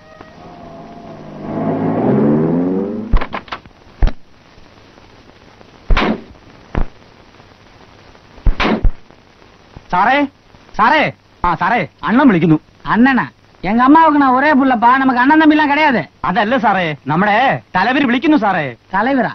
எனக்கு தெரிஞ்ச தலைவர்னா தந்தை பெரியார் அறிஞர் அண்ணா பெருந்தலைவர் காமராஜர் புரட்சி தலைவர் எம்ஜிஆர். இவங்க யாரா வந்திருக்காங்களா? எந்த சார் இது? நம்ம தலைவரோட கழிக்க மாடியில கேட்டோ எப்பா அனிஜா? ஆ? தா வரேன் சாரே. அனிஜா? இவட வரு. நீ தமிழன் தானே? தமிழ்லயே பேசு. உன் பேர் என்ன? மணி. இவ்வளவு சின்ன பேரை வச்சுக்கிட்டு ஒரு பெரிய மனுஷன் கூட மோதுறியே. அது அவ்வளவு புத்திசாலித்தனம் இல்ல. நான் யார் தெரியுமா? கொச்சின் கோபால். இல்ல பேரு கந்தசாமி ஊரு காவேரி பாக்கம். இங்க கேரளாக்கு வந்து பேரை மாத்தி வச்சுட்டு பெரிய மனுஷனா ஊரையே ஏமாத்திட்டு இருக்க. பேரை மாத்திரணும் ஊரை ஏமாத்திரணும் ஆனா இப்ப என் பேரை சொன்னா இந்த ஊரு ஏன் பக்கத்து ஊரும் சேர்ந்து நடுங்கும். இத பாரு என்கிட்ட மோதி யாரும் ஜெயிச்சதில்ல. நீ என்ன பண்ற? பேசாம கலாட்டா பண்ணாம வீட்டை காலி பண்ணிடு. சே சே கலாட்டெல்லாம் பண்ண மாட்டாங்க. வெரி குட் ஆனா வீட்டையும் காலி பண்ண மாட்டேன்.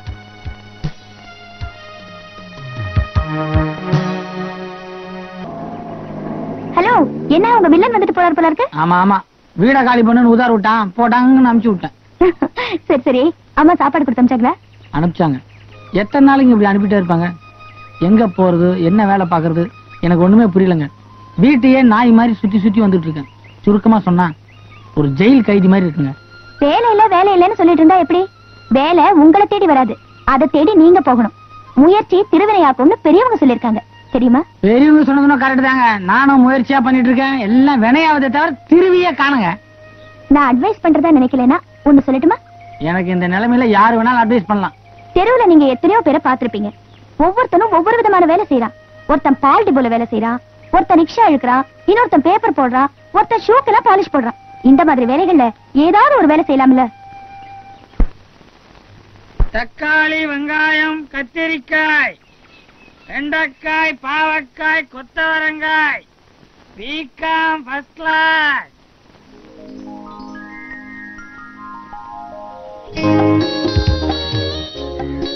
என்ன வேணும்? தக்காளி எந்த விலை? தக்காளி அஞ்சு ரூபாயம்மா கிலோ. மார்க்கெட்ல நாலு ரூபாய்க்கு மார்க்கெட்ல தரையில விக்கிறாங்கம்மா. நாங்க வண்டி மேல விக்கல. இது வள்ளிய தக்காளி ஆனோம் எத்தனை கிலோ? சரி ஒரு கிலோ மதி. ஒரு கிலோ இந்த மடக்கு மடக்குற. சரியான குட்டி தான் தக்காளி உருளைக்கிழங்கு கேரட்டு. கலப்படமில்லாத சரக்கு மோய்.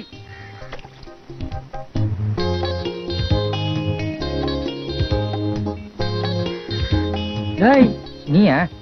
என்னம்மா வெள்ளி தரையில் காண்கன்னு வீரப்பா பேசிட்டு போன? வெறும் தரையில உட்காந்துருக்க அந்த வயிற்றுல ஏன்டா கேக்குற? நான் கருப்பிழக்காத வந்ததே பெரும்பாடா போச்சு. ஒரு வழியா திரும்பிட்டேன் எங்க திருந்துறது? என்னடா பிகாம் ஃபர்ஸ்ட் கிளாஸ் கறியா வைக்கிற? என்னமோ எஸ்எல்சி ஹெட் கிளார்க் ஆயிட்ட மாதிரி இலக்காரமா பேசுறேன் டேய் இப்படி வெட்டியா உட்காந்துருக்கிறதுக்கு இந்த காய்கறி வியாபாரம் பண்றது எவ்வளவோ பெட்டர் டேய் நீ எதனா மாதிரி பண்ணு. நானா? இது மாதிரி கை வண்டி இழுக்கிறதுக்கு தமிழ்நாட்டுல இருந்திருப்பேனே. நான் எதுக்கு கேரளா வரணும்? அப்போ நீங்க எதுவும் வேலை பார்க்க மாட்டீங்க. என் தகுதிக்கேத்த வேலை எதுவா இருந்தாலும் செய்வேன். அந்த வண்டி கொஞ்சம் காத்தடியா ஓய். உன் உடம்புக்கு அதான்டா லாய்க்கு.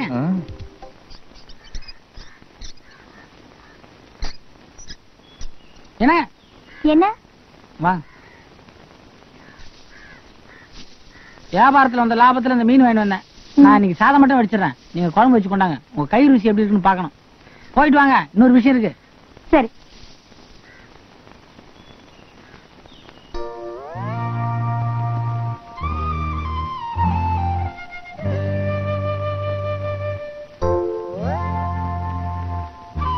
என்ன விஷயம்? உட்காருங்க முதலாளிகிட்ட கணக்கு கொடுக்கணும் முதலாளியா? யாரு முதலாளி? நீங்க தான் நான் முதலாளியா? என்ன பத்தி பேசுறீங்க? முதலாளி பிடிக்கலனா விடுங்க. என்ன பார்ட்னரா வச்சுங்க. நான் அன்னன்னைக்கு காசை கரெக்டா கொடுக்க காரணமே நம்ம பார்ட்னர்ஷிப் பர்மனண்டா இருக்கணும்னு தான் கேள்வி கேட்க ஆள் இல்லைன்னா காசை கண்ட மணிக்கு செலவு பண்ணுவேன் உங்களை கேள்வி கேட்க ஆள் இல்லைன்னு எப்படி சொல்றீங்க? அப்போ ஆள் இருக்காங்களா? யாருங்க? நீங்க தானே பார்ட்னர்னு சொன்னீங்க. நான் கத்திரிக்காய் வேண்டக்காக சொன்னேன். அது இவ்வளவு சீக்கிரம் முத்திருக்கு இப்ப இல்ல தெரியுது. அம்மா எங்க? கோயிலுக்கு போயிருக்காங்க. எந்த கோயிலுக்கு? ஏதோ ஒரு கோயிலுக்கு போயிருக்காங்க வர லேட் ஆகும். அதானே உங்களுக்கு வேண்டியது? நீ என்னை விட ஃபாஸ்டா இருக்கிற.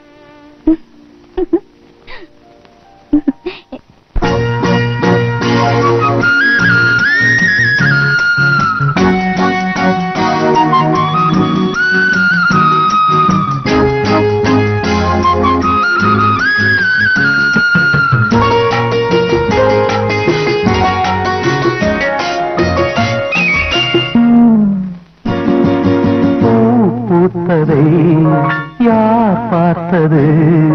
காதல் கூட பூவை போன்றது மனதிலே உள்ளது. நல்லது. வானம் வேறு நீளம் வேறு யார் சொன்னது? பூத்ததை யார் பார்த்தது? காதல் கூட பூவை போன்றது.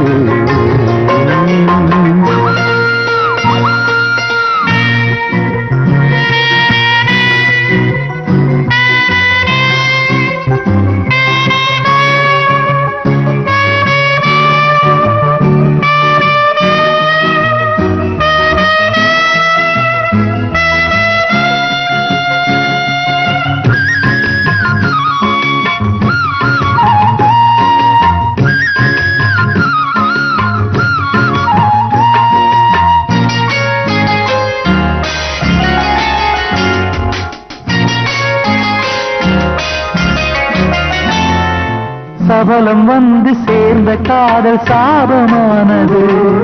அவலம் வந்து சேர்ந்த காதல் ஆழமானது. பருவம் வந்த போது காதல் நியாயமானது. பண்பு பார்த்து வந்த காதல் தூய்மையானது. அழகு என்பது மெழுகை போன்றது. அன்பு என்பது விளக்கை போன்றது. அன்பு கொண்ட உள்ளம் என்று மாறாதது. பூ பூத்ததை யார் பார்த்தது? காதல் கூட பூவை போன்றது.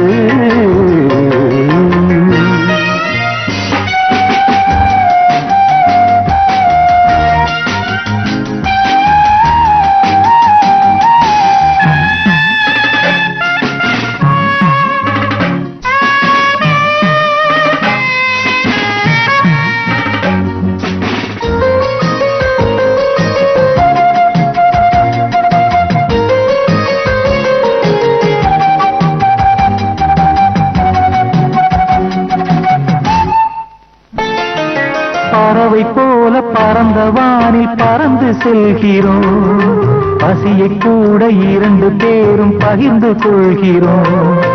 உறக்கம் நம்மை பிரிப்பதில்லை கூடிக்கொள்கிறோம். ஒருவர் கண்ணில் ஒருவர் இறங்கி மூடிக்கொள்கிறோம். மழையில் காய்கிறோம் வெயிலில் நனைகிறோம். மழலை பேசியே மறியில் சாகிறோம் இந்த கொஞ்சம் எல்லை மீற நாள் பார்க்கிறோம். பூ பூத்ததை யார் பார்த்தது? காதல் கூட பூவை போன்றது மனதிலே உள்ளது மௌனமே நல்லது. வானம் வேறு நீளம் வேறு யார் சொன்னது? யார் பார்த்தது காதல் கூட பூவை போன்றது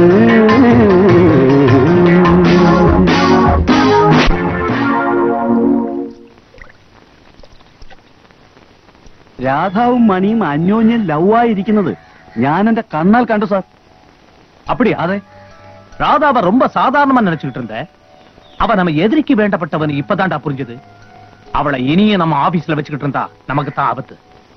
நாளைக்கு முத காரியமா அவ சீத்த கழிச்சிடறேன். என்னங்க இது அநியாயமா இருக்குது? வேலையை விட்டு நிறுத்திட்டான்னு பேசாம வந்து நிக்கிறீங்க? நாங்க டெம்பரவரி எங்களை வேலையை விட்டு நிறுத்தினதுக்கு நாங்க சோடா பாட்டில் அடிக்கலாம் திட்டம் போட்டிருந்தோம். ஏங்க நீங்க ரெண்டு வருஷம் சர்வீஸ் பண்ணிருக்கீங்க பர்மனன்ட் உங்களை வேலையை விட்டு நிறுத்துறதுக்கு அவனுக்கு அருகதையே கிடையாது. நாம இப்படியே விட்டுட்டோம் அவன் நம்மள டியூப் லைட் நினைச்சுப்பாங்க. நாம நக்சலைட்னு அவனுக்கு சொல்லணும். அதெல்லாம் ஒண்ணு வேண்டாம் தம்பி. எதையாவது பண்ணி வம்புல மாட்டிக்காத. நான் எதுங்க வம்பல மாட்டிக்க போறேன்? நீங்க வேலை போச்சுன்னு மட்டும் கவலைப்படாதீங்க. இது வரைக்கும் நான் எனக்காக நாலு தெரு சுத்தி காய்கறி வித்தேன். நாளையில இருந்து உங்களுக்கு சேர்த்து ஒரு எட்டு தெருவா சுத்திடுறேன்.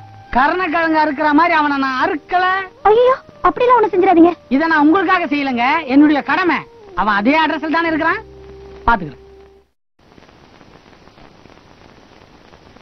எங்கடா கிளம்பிட்ட?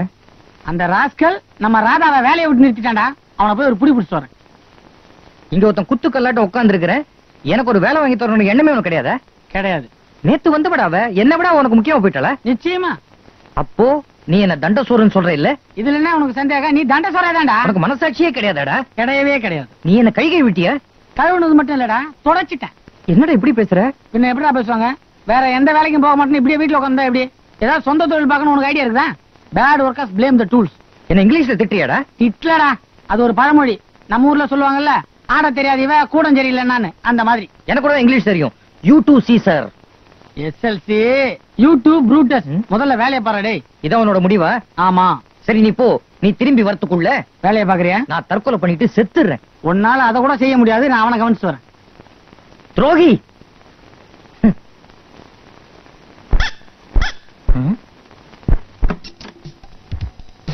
போஸ் வந்தோ.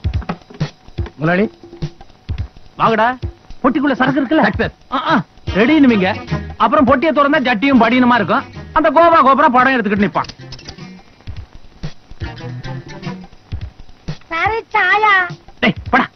நேரம் காலம் தெரியாம சாயா ஆயானுக்கிட்டு பிக்சர் அந்த கோபுராவுக்கு போன் பண்ணி நேரா ஸ்பாட்டுக்கு வர சொல்லிடுறேன்.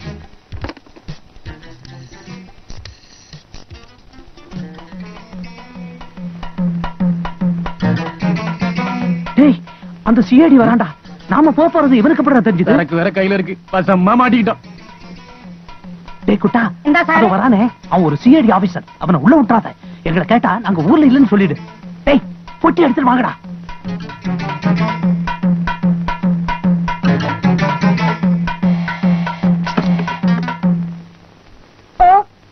எங்கடா அந்த ஆளு? ஏ ஆளு? ஏ ஆளாவது பி ஆளாவது? எம்எம் டேட்டஸ் முதலாளி. ஆ ஆளிடம் நான் கொஞ்சம் சம்சாரிக்கணும். அவர் உள்ளில் இல்லையா? உள்ளில் இல்லையா? உள்ள இருந்து அப்படி சொல்ல சொன்னாரா? அது அடிங் குள்ளா அவர் புறத்து போய். கார் உண்டு? நடந்து போய். நடந்தானே போயிருக்காரு. சீக்கிரம் திரும்பி வந்துருவாரு அது வரைக்கும் உள்ள உட்காரன் ஏய்! அவர் திருவனந்தபுரம் போய். திருச்சி நடந்து வர சமயமாவுங்கல்ல ஏண்டா? உயரத்துக்கு அதிகமா புழுவுற பத்தியா? திருவனந்தபுரம் எங்க இருக்குது? திருச்சி எங்க இருக்குது? உனக்கு உள்ளதானே வரக்கூடாது. நான் வயலே நின்னு மடக்கிறேன் பாரு. நிக்கு அவன் நம்மள விட மாட்டாங்க. நம்மளுக்கு க்ளோஸ் சும்மாரியா கழுத்துக்கு மேல வெள்ளம் வந்துருச்சு. கவலைப்பட்டு என்னையா பிரயோஜனம்? நான் போய் அந்த கோபுராவுக்கு போன் பண்ணி ஸ்பாட்டுக்கு வர சொல்லிடுறேன். உன்ன மாதிரி நான் எத்தனை பேரை பார்த்திருப்பேன்? என்கிட்டயே உள்ள இருந்துகிட்டே ஆள் இல்லைன்னு சொல்லி அனுப்புறேன்.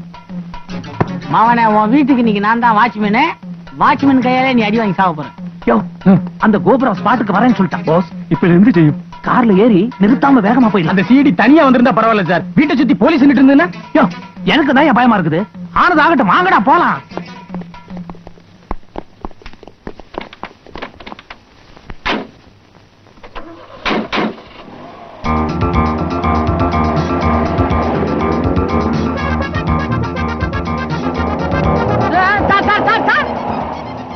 எதுக்கு இப்படி ஓடுறீங்க? ஒருவேளை நம்ம அடிக்கு பயந்து ஓடுறீங்களா?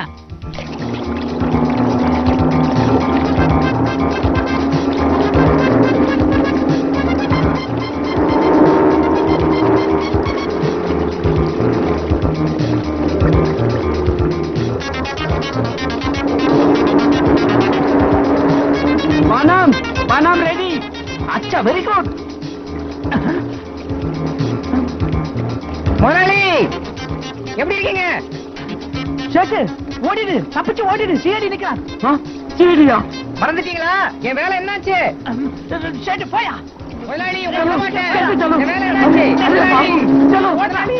போயாங்கிறத முதலாளி அவர் யார் இன்னொரு பார்ட்னரா முதலாளி பேசியாது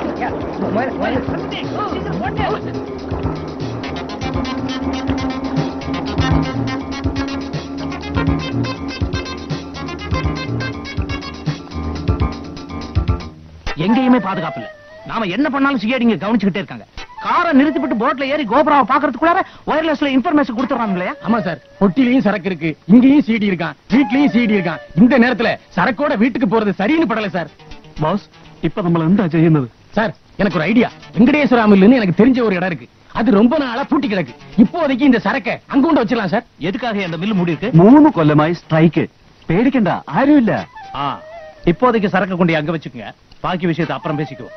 சார் விஷயம் ரொம்ப முத்தி போச்சு. நமக்கும் அந்த சீடிகளுக்கு உள்ள இடைவெளி ரொம்ப குறுகலா போச்சு. எந்த நேரத்திலயும் அவனுங்க நம்மள தீர்த்து கட்டிடுவானுங்க. இருக்கிற ஒரே வழி அந்த ரெண்டு பசங்களையும் எப்படியாச்சும் கொலை பண்ணிடணும் சார். அது எந்த வழி. சார் எனக்கு தெரிஞ்ச ஒரு கொலகாரர் இருக்கான். அவனுக்கு தொழிலே கொலை பண்றதுதான் பேரு மயில் ராவணன் எமனுக்கு சொந்தக்காரன்? எமனை கூட பாத்துடலாம் ஆனா இவனை பார்க்கவே முடியாது. காலையில கேரளாவில ஒரு கொலையை பண்ணிட்டு சாயங்காலம் காஷ்மீர்ல போய் போட்டு ஓட்டிட்டு இருப்பான் சார். அப்படியா? அவனை உடனே நான் பார்த்தாகணும். அவன் எங்கயா இருக்கான்? பாம்பேல இருக்கான் சார் மயில் ராவணனுக்கு காசை கொடுத்து ஆளை காமிச்சா போதும்.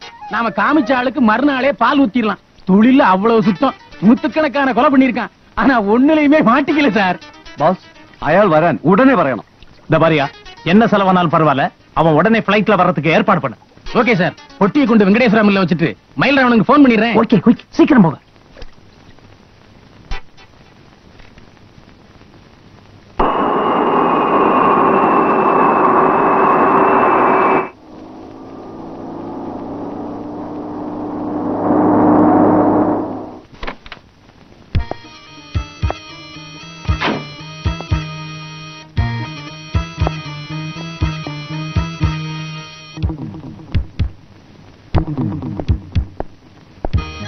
hello mister Mayilravanan. I am Mamandur Masulamani. Very nice to meet you உங்களை பத்தி நிறைய கேள்விப்பட்டிருக்கேன். உங்களுக்கு கன்யாலால் சேட் தெரியுமா? தெரியுமாவா? திருட்டு பய. என்ன ஏமாத்தின ஒரே ஆள் அவன் தான் ப்ளீஸ் சிடம் ஆமா பாம்பேல இருந்து இப்பதான் வரீங்களா? எஸ் போன வாரம் ஒர்க் ரொம்ப டைட் அவசர அவசரமா பிஎட் போய் பாம்பு வச்சு ஒரு பார்ட்டியை க்ளோஸ் பண்ணிட்டு வந்தேன். மிஸ்டர் மயில்ராவணன் நீங்க போலீஸ் கையில இருந்து எப்படி தப்பிக்கிறீங்க? அது தொழில் ரகசியம். போலீஸுக்கு மட்டுமில்ல. மிலிட்டரிக்கே என்ன கண்டா சிம்ம சொப்பனம் என் தலைக்கு லட்ச ரூபாய் ரிவார்டு வச்சிருக்காங்க. அப்புறம் ரெண்டு நாளைக்கு மேல என்னால இங்க தங்க முடியாது. ஏங்க? இருபத்தி மூணாம் தேதி ஹரியானாவுல ஒரு ஆளை கொல்ல அட்வான்ஸ் வாங்கிட்டேன். உங்க ஆளை காட்டுங்க. அதுக்குள்ள வேலையை முடிச்சிடறேன். மிஸ்டர் மயில்ராவணன் ஒரு விஷயம். நீங்க நினைக்கிற மாதிரி அவனுக்கு சாதாரண ஆளுகள்ல நல்ல ட்ரைனிங் எடுத்துக்கிட்ட திறமையான சிஐடிங்க அவங்களோட குலம் கோத்திரம் எனக்கு ஒண்ணும் தேவையில்லை. ஆளை காட்டுங்க. You see I am a professional killer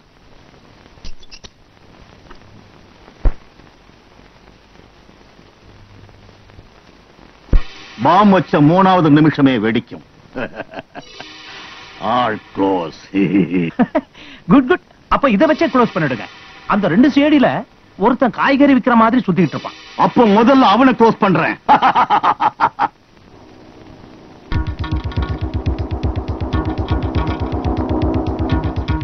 സാറേ അയാളാ സാർ போய் அவங்கிட்ட அட்ரஸ் கேட்கற மாதிரி பேச்சு கொடு காரை கொண்டு போய் அந்த வண்டி பக்கத்துல நிறுத்து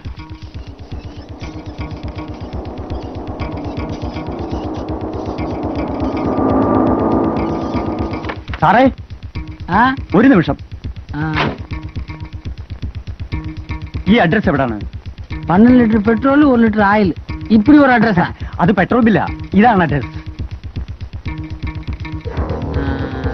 தமிழ் அறியுமோ കൊഞ്ചം കൊഞ്ചം അറിയാം സാർ அது போதும் நேரா போய் லெஃப்ட்ல போங்க அப்புறம் ஒரு சின்ன ரைட் வரும் அதை கட் பண்ணீங்கன்னா ஒரு பெரிய லெஃப்ட் போவோம் அங்க போனீங்கன்னா ஒரு டீ கடை வரும் அவங்க கிட்ட விசாரிங்க அவங்கள என்ன மாதிரி லெஃப்ட் ரைட்லாம் சொல்லுவாங்க തരക്കേടില്ല സാർ ഞാൻ അന്വേഷിച്ചോളാം താങ്ക്സ്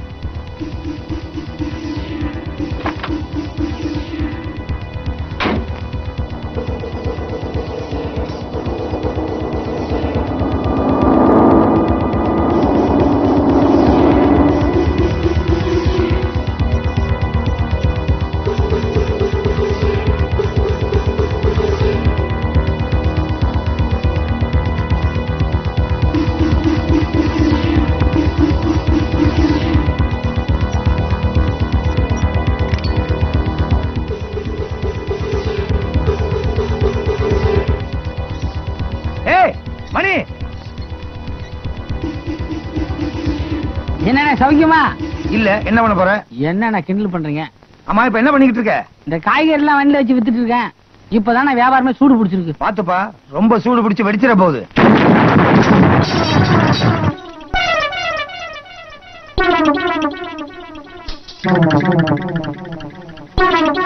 பெருசா சாதிச்சுட்டு வருவீங்கன்னு பார்த்தா வெண்ண வட்டிகளாட்ட வந்திருக்கிறீங்க.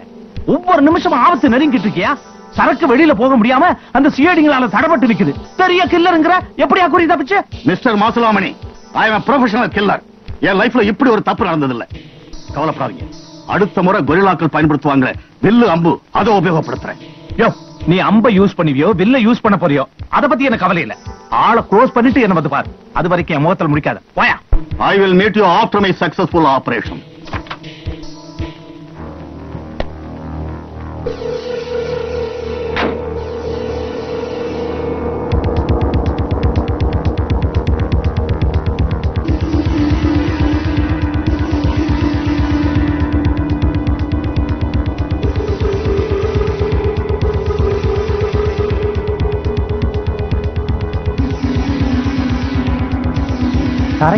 കയ്യിൽ എടുത്ത ഉടനെ വെടിക്കൂ ஆன் செஞ்ச உடனே வெடிக்கும்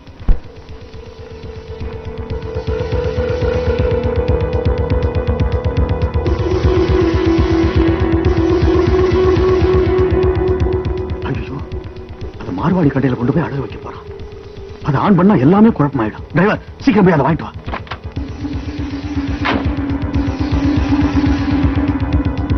സാറേ ஐயோ கைய விடியா ഒന്നും ഇവിടെ വരൂ ഈ ട്രാൻസിസ്റ്റർ വിൽക്കുന്നുണ്ടോ ഇത് എൻ ട്രാൻസിസ്റ്റർ ഏ ഇഷ്ടം എന്നെ വേണ ചെയ്യുവേ എന്ത് വില വേണം വില എവിടെ കൊടുപ്പേ എത്രയാ വേണ്ടത് അയ്യായിരം രൂപ ആയിരം രൂപ അഞ്ഞൂറ് രൂപ ആ തരാം തരാം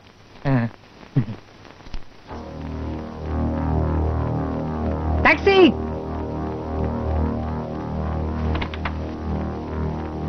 നിശ്ചയിക്കുന്ന വണ്ടിയുടെ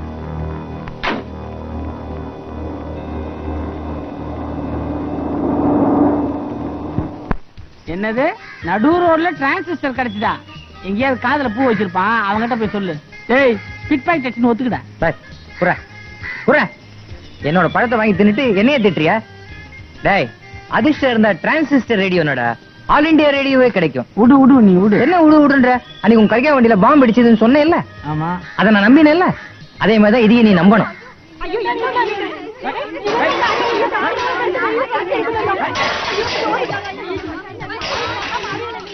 செய்யணும்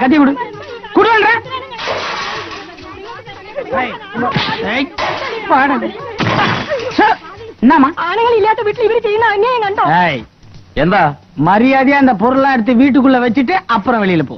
வச்சில்லைங்கள் வெச்சில எங்கிலா நான் காய்கறி கடை வச்சிருக்கிறவன். பூசணிக்காய் பெத்த போட்டே பழக்கப்பட்ட கை. எப்படி? கழுத்தோட வீட்டுக்கு போனோமா? முண்டை மட்டும் போனா போதுமா? என்னடா முறைக்கிற?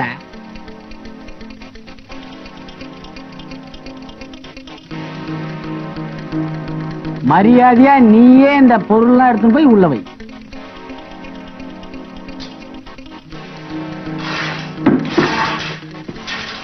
போங்கடா நல்ல சமயத்துல நான் வந்தேன். இந்தாமா நீங்க யாரும் சாமான்ல கை வைக்காதீங்க எல்லாம் அவன்ல வந்து பொறுக்கட்டும்.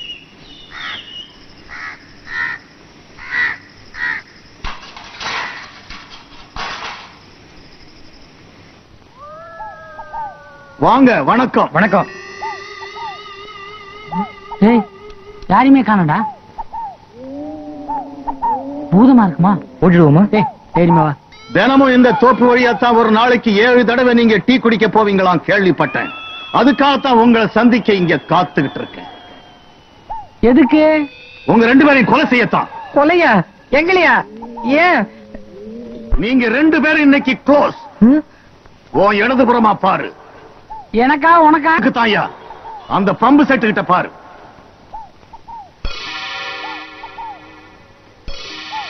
இதுல இருக்கிற ஆயுதங்களை பாருங்க. எதால நீங்க சாக விரும்புறீங்க? கத்தியா வில்லா ரிவால்வரா இல்ல மினி பாமா? Mini bomb. நானே கொண்டுடுவேன். வாடா அண்ணா.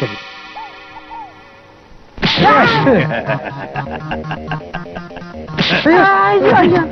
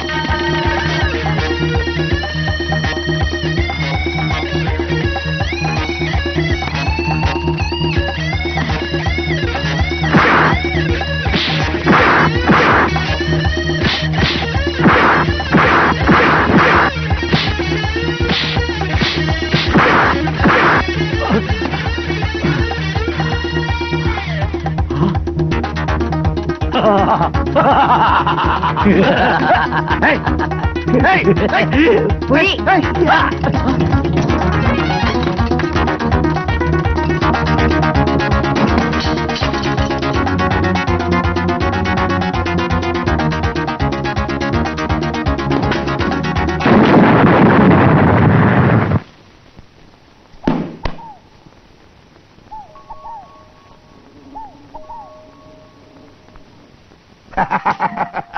very good, very good. Congratulations. மயில் ராவன் ஒரு பயங்கரமான கேடி. நாலு வருஷமா ஆல் இந்தியா லெவல்ல போலீஸுக்கு டிமிக்கி கொடுத்துட்டு இருக்கான். எங்களாலே கண்டுபிடிக்க முடியல. அவன் செத்து போயிட்டானா? என்னால நம்ப முடியலையே. சத்தியமா செத்துட்டான் சார். நாங்க கூட அவன் மூக்குல விரல வச்சு பார்த்தோம். மூச்சு நின்னு போயிருந்தது. நம்ப முடியலன்னு சொன்னது ஆச்சரியத்துல சொன்னீங்க. ஏன் சார்? பல லட்சம் ரூபா போதை மரம் நாங்க கண்டுபிடிச்சு கொடுத்தோம். நீங்க கஷ்டப்பட்டு தேடிக்கிட்டு இருந்த ஒரு கேடிய நாங்க சாதாரணமா சாகடிச்சிட்டோம். சாதனை பண்றதுல நாங்க சம்பளம் வாங்குறது நீங்களா? பேசாம எங்களுக்கும் போலீஸ்ல ஒரு வேலை போட்டு கொடுத்துருங்களேன். ஆமா சார். நான் பிகாம் ஃபர்ஸ்ட் கிளாஸ் எனக்கு உங்களை மாதிரி ஒரு இன்ஸ்பெக்டர் வேலை கொடுத்துருங்க. இவன் எஸ்எல்சி ஒரு கான்ஸ்டபிள் வேலை கொடுத்து வாசலே நிக்க வச்சிருங்க. என்னதான் இருந்தாலும் ஒரு கொலை கேஸ் உங்களுக்கு ஜாமீன் கட்டாயம் வேணும். மறுபடியும் ஜாமீனா? ஏன் சார்? நாங்களா கொன்னோம் சரி விடு. எந்த ஜெயில சொல்லுங்க சார். வெளியில பட்டினி கிடந்து சாவறதுக்கு பதிலா ஜெயில வேலை வேலைக்கு சோறாவது கிடைக்கும். ஆமா எனக்கு சேர்த்து இவன் உள்ள இருப்பான். ஏய் அப்செட் ஆயிராதீங்க என்னுடைய பர்சனல் ரிஸ்க்ல உங்களை நான் ரிலீஸ் பண்றேன். போயிட்டு வாங்க. ரொம்ப நன்றி சார். இந்த உதவியை நாங்க மறக்கவே மாட்டோம். என்னைக்காவது நீங்க ஜெயில இருந்தீங்கன்னு வச்சுங்க நாங்க ரெண்டு பேரும் உங்களுக்கு ஜாமீன் தரோம். தமாஷ் பறையினது அதே மயில் ராவண மீளா துயில் ராவணன் ஆயிட்டான். முண்டம். வாய்க்கிடிய பேசினா டிரான்சிஸ்டர் பாம்பு டேப் ரிகார்டர் பாம்புன்னு மூதேவி நாய் மாறி செத்துட்டான். நான் அன்னையில இருந்து படிச்சு படிச்சு சொல்றேன். அந்த சிஐடி சாதாரண ஆள் இல்லன்னு. கேட்டீங்களா? இயாவுக்கு ஸ்காட்லாந்து யார்ட்ல ட்ரைனிங் உண்டாகுமோ? இவன் ஒருத்தன். உண்டாகுமோ குண்டாகுமோன்னு. போற போக்க பார்த்தா பிசினஸ கண்டினியூ பண்ண முடியும்னு எனக்கு தோணல ஐயோ அப்படின்னா மில்லுல இருக்க சரக்கு ബസ് കോബ്ര എന്തായി புத்துக்குள்ள போய் ஏ வாடாய் வாங்கடா கோபுரா இந்த ஊர்ல தான் இருக்கிறான் அவனுக்கு போன் பண்ணி நாளை காலையில வெங்கடேஸ்வரம் மில்லுக்கு வர சொல்லுவோம் சரக்கு அவங்க கையில கொடுத்துட்டு பணத்தை நம்ம வாங்கிக்குவோம் சரியான ஐடியா அந்த இடத்துல ஆள் நடமாட்டமே இருக்காது അപ്പോ ധൈര്യമായിട്ട് ഡീൽ ചെയ്യാം அப்போ கோபுராவுக்கு நான் போன் செய்யாம் தம்பி மணி தம்பி என்னப்பா? என் மேல கோவமா? அதெல்லாம் ஒண்ணும் இல்ல. இல்லப்பா உன் கோபத்திலயும் ஒரு அர்த்தம் இருக்கு. இப்படி வா. யோசிச்சு பார்க்கும்போதுதான் தப்பு என் மேலதான்னு எனக்கே நல்லா தெரியுது. இவ்வளவு பேரையும் காலி பண்ணிட்டு இங்க இருந்து போங்கன்னா இவங்க எல்லாம் எங்க போவாங்க? ஏதோ ஒரு வேகத்துல நான் தான் அப்படி நடந்துகிட்டேன்ப்பா. ஆனா நல்ல சமயத்துல நீ என் கண்ணை திறந்துட்ட. என்னங்க நீங்க? என்னை மன்னிச்சிருப்பா. ரொம்ப நன்றிப்பா. நீங்க ஏங்க என்கிட்ட வயசுல பெரியவங்க? அப்படியெல்லாம் சொல்லக்கூடாது. யார் தப்பு பண்ணாலும் தப்பு தான் இத பாருங்க இப்ப நீங்க ரெண்டு பேரும் என்ன பண்ணிட்டு இருக்கீங்க? வேலை தேடிட்டு இருக்கோங்க. இனிமே நீங்க வேலை தேடக்கூடாது. அப்ப சாப்பாட்டுக்கு வழி? நான் இருக்கேன். உங்க தகுதிக்கேத்த நல்ல வேலையா பார்த்து நான் ஏற்பாடு பண்றேன். அது என் பொறுப்பு. நல்ல வேலைன்னா மாசம் சுமார் ரெண்டாயிரம் ரூபாய் சம்பளம் கிடைக்குமா? அதுக்கு மேலேயே கிடைக்கும். ஓகே. சார் உங்களுக்கு நான் எப்படி நன்றி சொல்றதுன்னே தெரியல. அதெல்லாம் பரவாயில்ல. சின்ன விஷயம். என்னப்பா? நீங்க ஒரு மூணு பேருக்கு வேலை தர முடியுமா? மூணு பேரா? நீங்க ரெண்டு மத்தது யாரு? அவங்கதான். அப்படியா? சரி. அவங்களுக்கு சேர்த்து நான் ஏற்பாடு பண்றேன். முதல்ல உங்க ரெண்டு பேருக்கும். என்ன? நான் போய் எந்த இடம் எப்ப நீங்க வரணும்னு நான் சொல்லி அனுப்புறேன். நீங்க வாங்க. வந்ததும் உங்க ரெண்டு பேருக்கும் வேலை கண்டிப்பா கிடைக்கும். நான் வரட்டுமா? தம்பி மனசு எதுவும் வச்சுக்க கூடாது நீங்களும் எதுவும் வச்சுக்க கூடாது. வந்துருங்க. எவ்வளவு தங்கமான மனுஷன். ஆமாண்டா செயின் மோதிரம் தங்கத்திலே போட்டிருக்காரு. இவரு போய் எப்படி தப்பா நினைச்ச? அதுக்கெல்லாம் நேரம் வரணும்டா. இப்பதான் நமக்கு டைம் ஒர்க் அவுட் ஆயிருக்கு. இந்த விஷயத்தை ராதா கிட்ட போய் சொல்லிட்டு வந்துடுறேன். நானும் வரேன். எதுக்கு? ரொம்ப பசியா இருக்குது. அவங்க வீட்டுக்கு போனா ஏதாவது சாப்பிட கொடுப்பாங்க.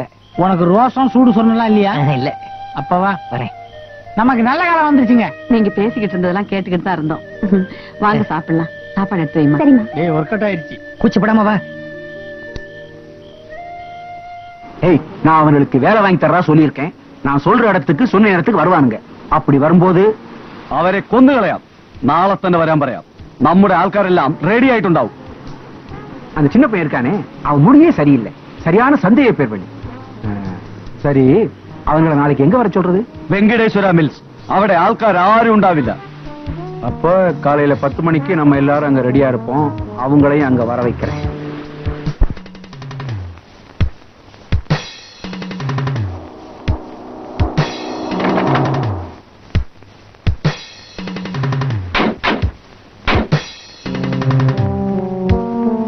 வேற மாசிலாமணி இப்ப வந்துருவாரு.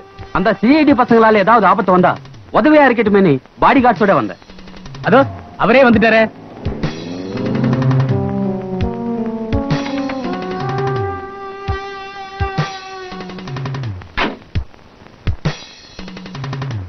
Hello cobra. Hello mister Masilamani. அப்பா வந்துட்டீங்களா வாங்க உள்ள போய் பேசுவோம்.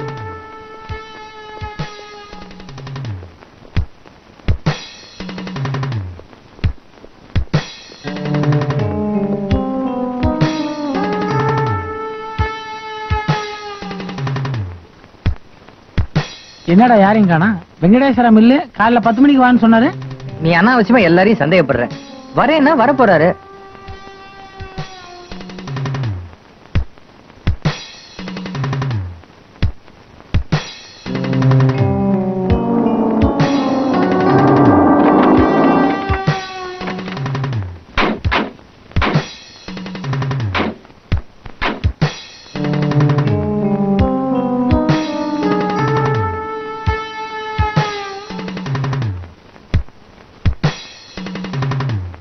பத்து மணிக்கு வெங்கடேஸ்வரா மில்லுக்கு வேலைக்கு வாங்கன்னு சொல்லி அனுப்பிச்சிருந்தேன்.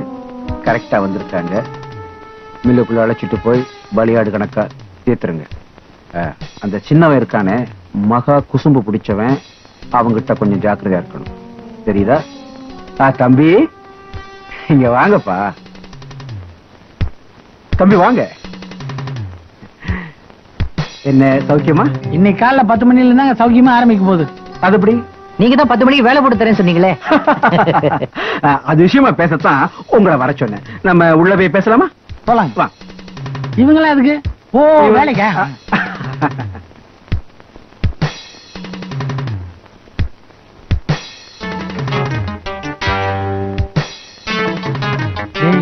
இவனுக்கு தான் நம்மகிட்ட பொட்டி பிடிங்க போனவனுங்க. அதே ஆளுங்க தான் என்னப்பா கதவு திறந்தே இருக்கு. எவனோ ரெண்டு பேர் வந்து நிக்கிறான். எனக்கு சந்தேகமா இருக்கு. பசங்க ரெண்டு பேரும் ஏதோ செட்டப் பண்ணிட்டாங்க போல இருக்கு. அந்த சீடிங்க ரெண்டு பேரும் நம்மள பிடிக்க ஆளுங்களோட இங்கேயே வந்துட்டாங்க சார். அப்படியா? என் தொழிலையும் நாசமாக்கிடுவானுங்க போல் இருக்க. இந்த மரம் அவனுங்களை விடக்கூடாதா அந்த சிஐடிங்களையும் அவன் ஆளுங்களையும் க்ளோஸ் பண்ணுங்கடா. போங்கடா.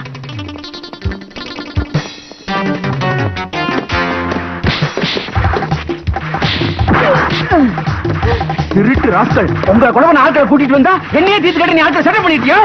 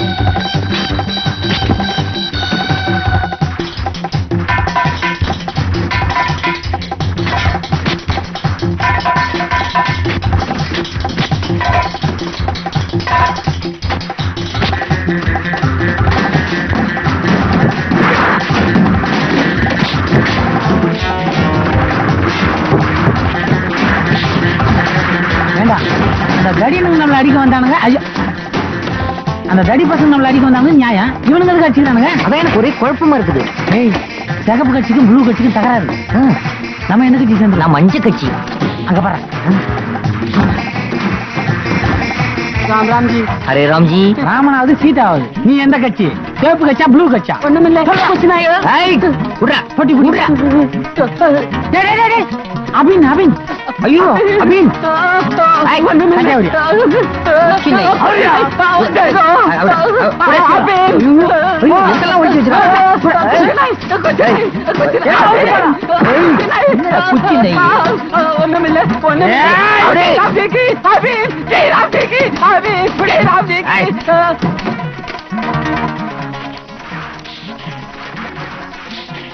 ஹலோ போலீஸ் ஸ்டேஷனா ஒரு நிமிஷம் இருங்க ஏய். ஹலோ இங்க வெங்கடேஸ்வரா மில்ஸ்ல பயங்கர சண்டை. உடனே வாங்க.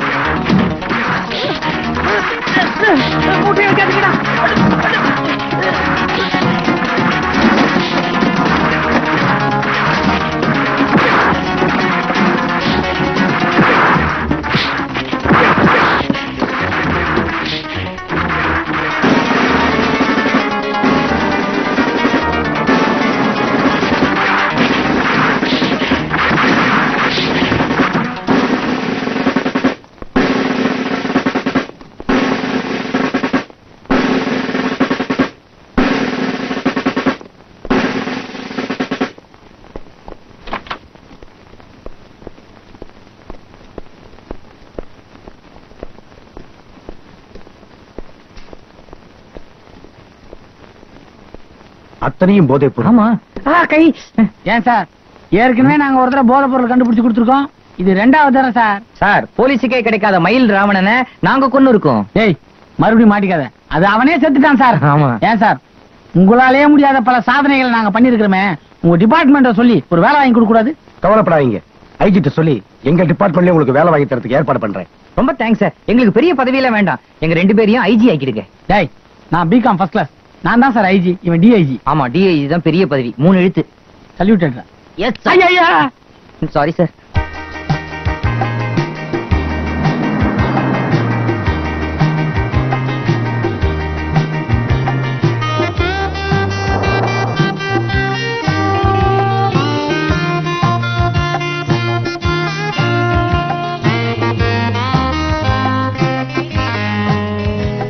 துபாய்க்கு கூட்டு போறேன்னு அந்த கஜா கம்நாட்டி எங்களை இங்க கொண்டாந்து இறக்கிட்டான். நாங்க போட்ட வேஷம் கொஞ்சமா நெஞ்சமா இல்லடா? இன்ஸ்பெக்டர் அங்க பாடுறா ஃபாலோ மீடா எஸ்டா இந்த பாருங்க நான் சாதாரணமா துபாய் கரை பக்கம் வந்ததே இல்ல. உங்களுக்கா வந்திருக்கேன். அதான் பாருங்க அதான் துபாய். தைரியமா போங்க. உங்களை மாதிரி தான் மணி ரமணின்னு ரெண்டு பேர் வந்தாங்க. துபாயில இறக்கி விட்டேன். இன்னைக்கு கோடி கோடியா சம்பாத்தியம் பண்றாங்க. அதுவா போவான. ஏழு எண்ணெய் கிணறு உங்களுக்கு சொந்தம். மணி ரமணி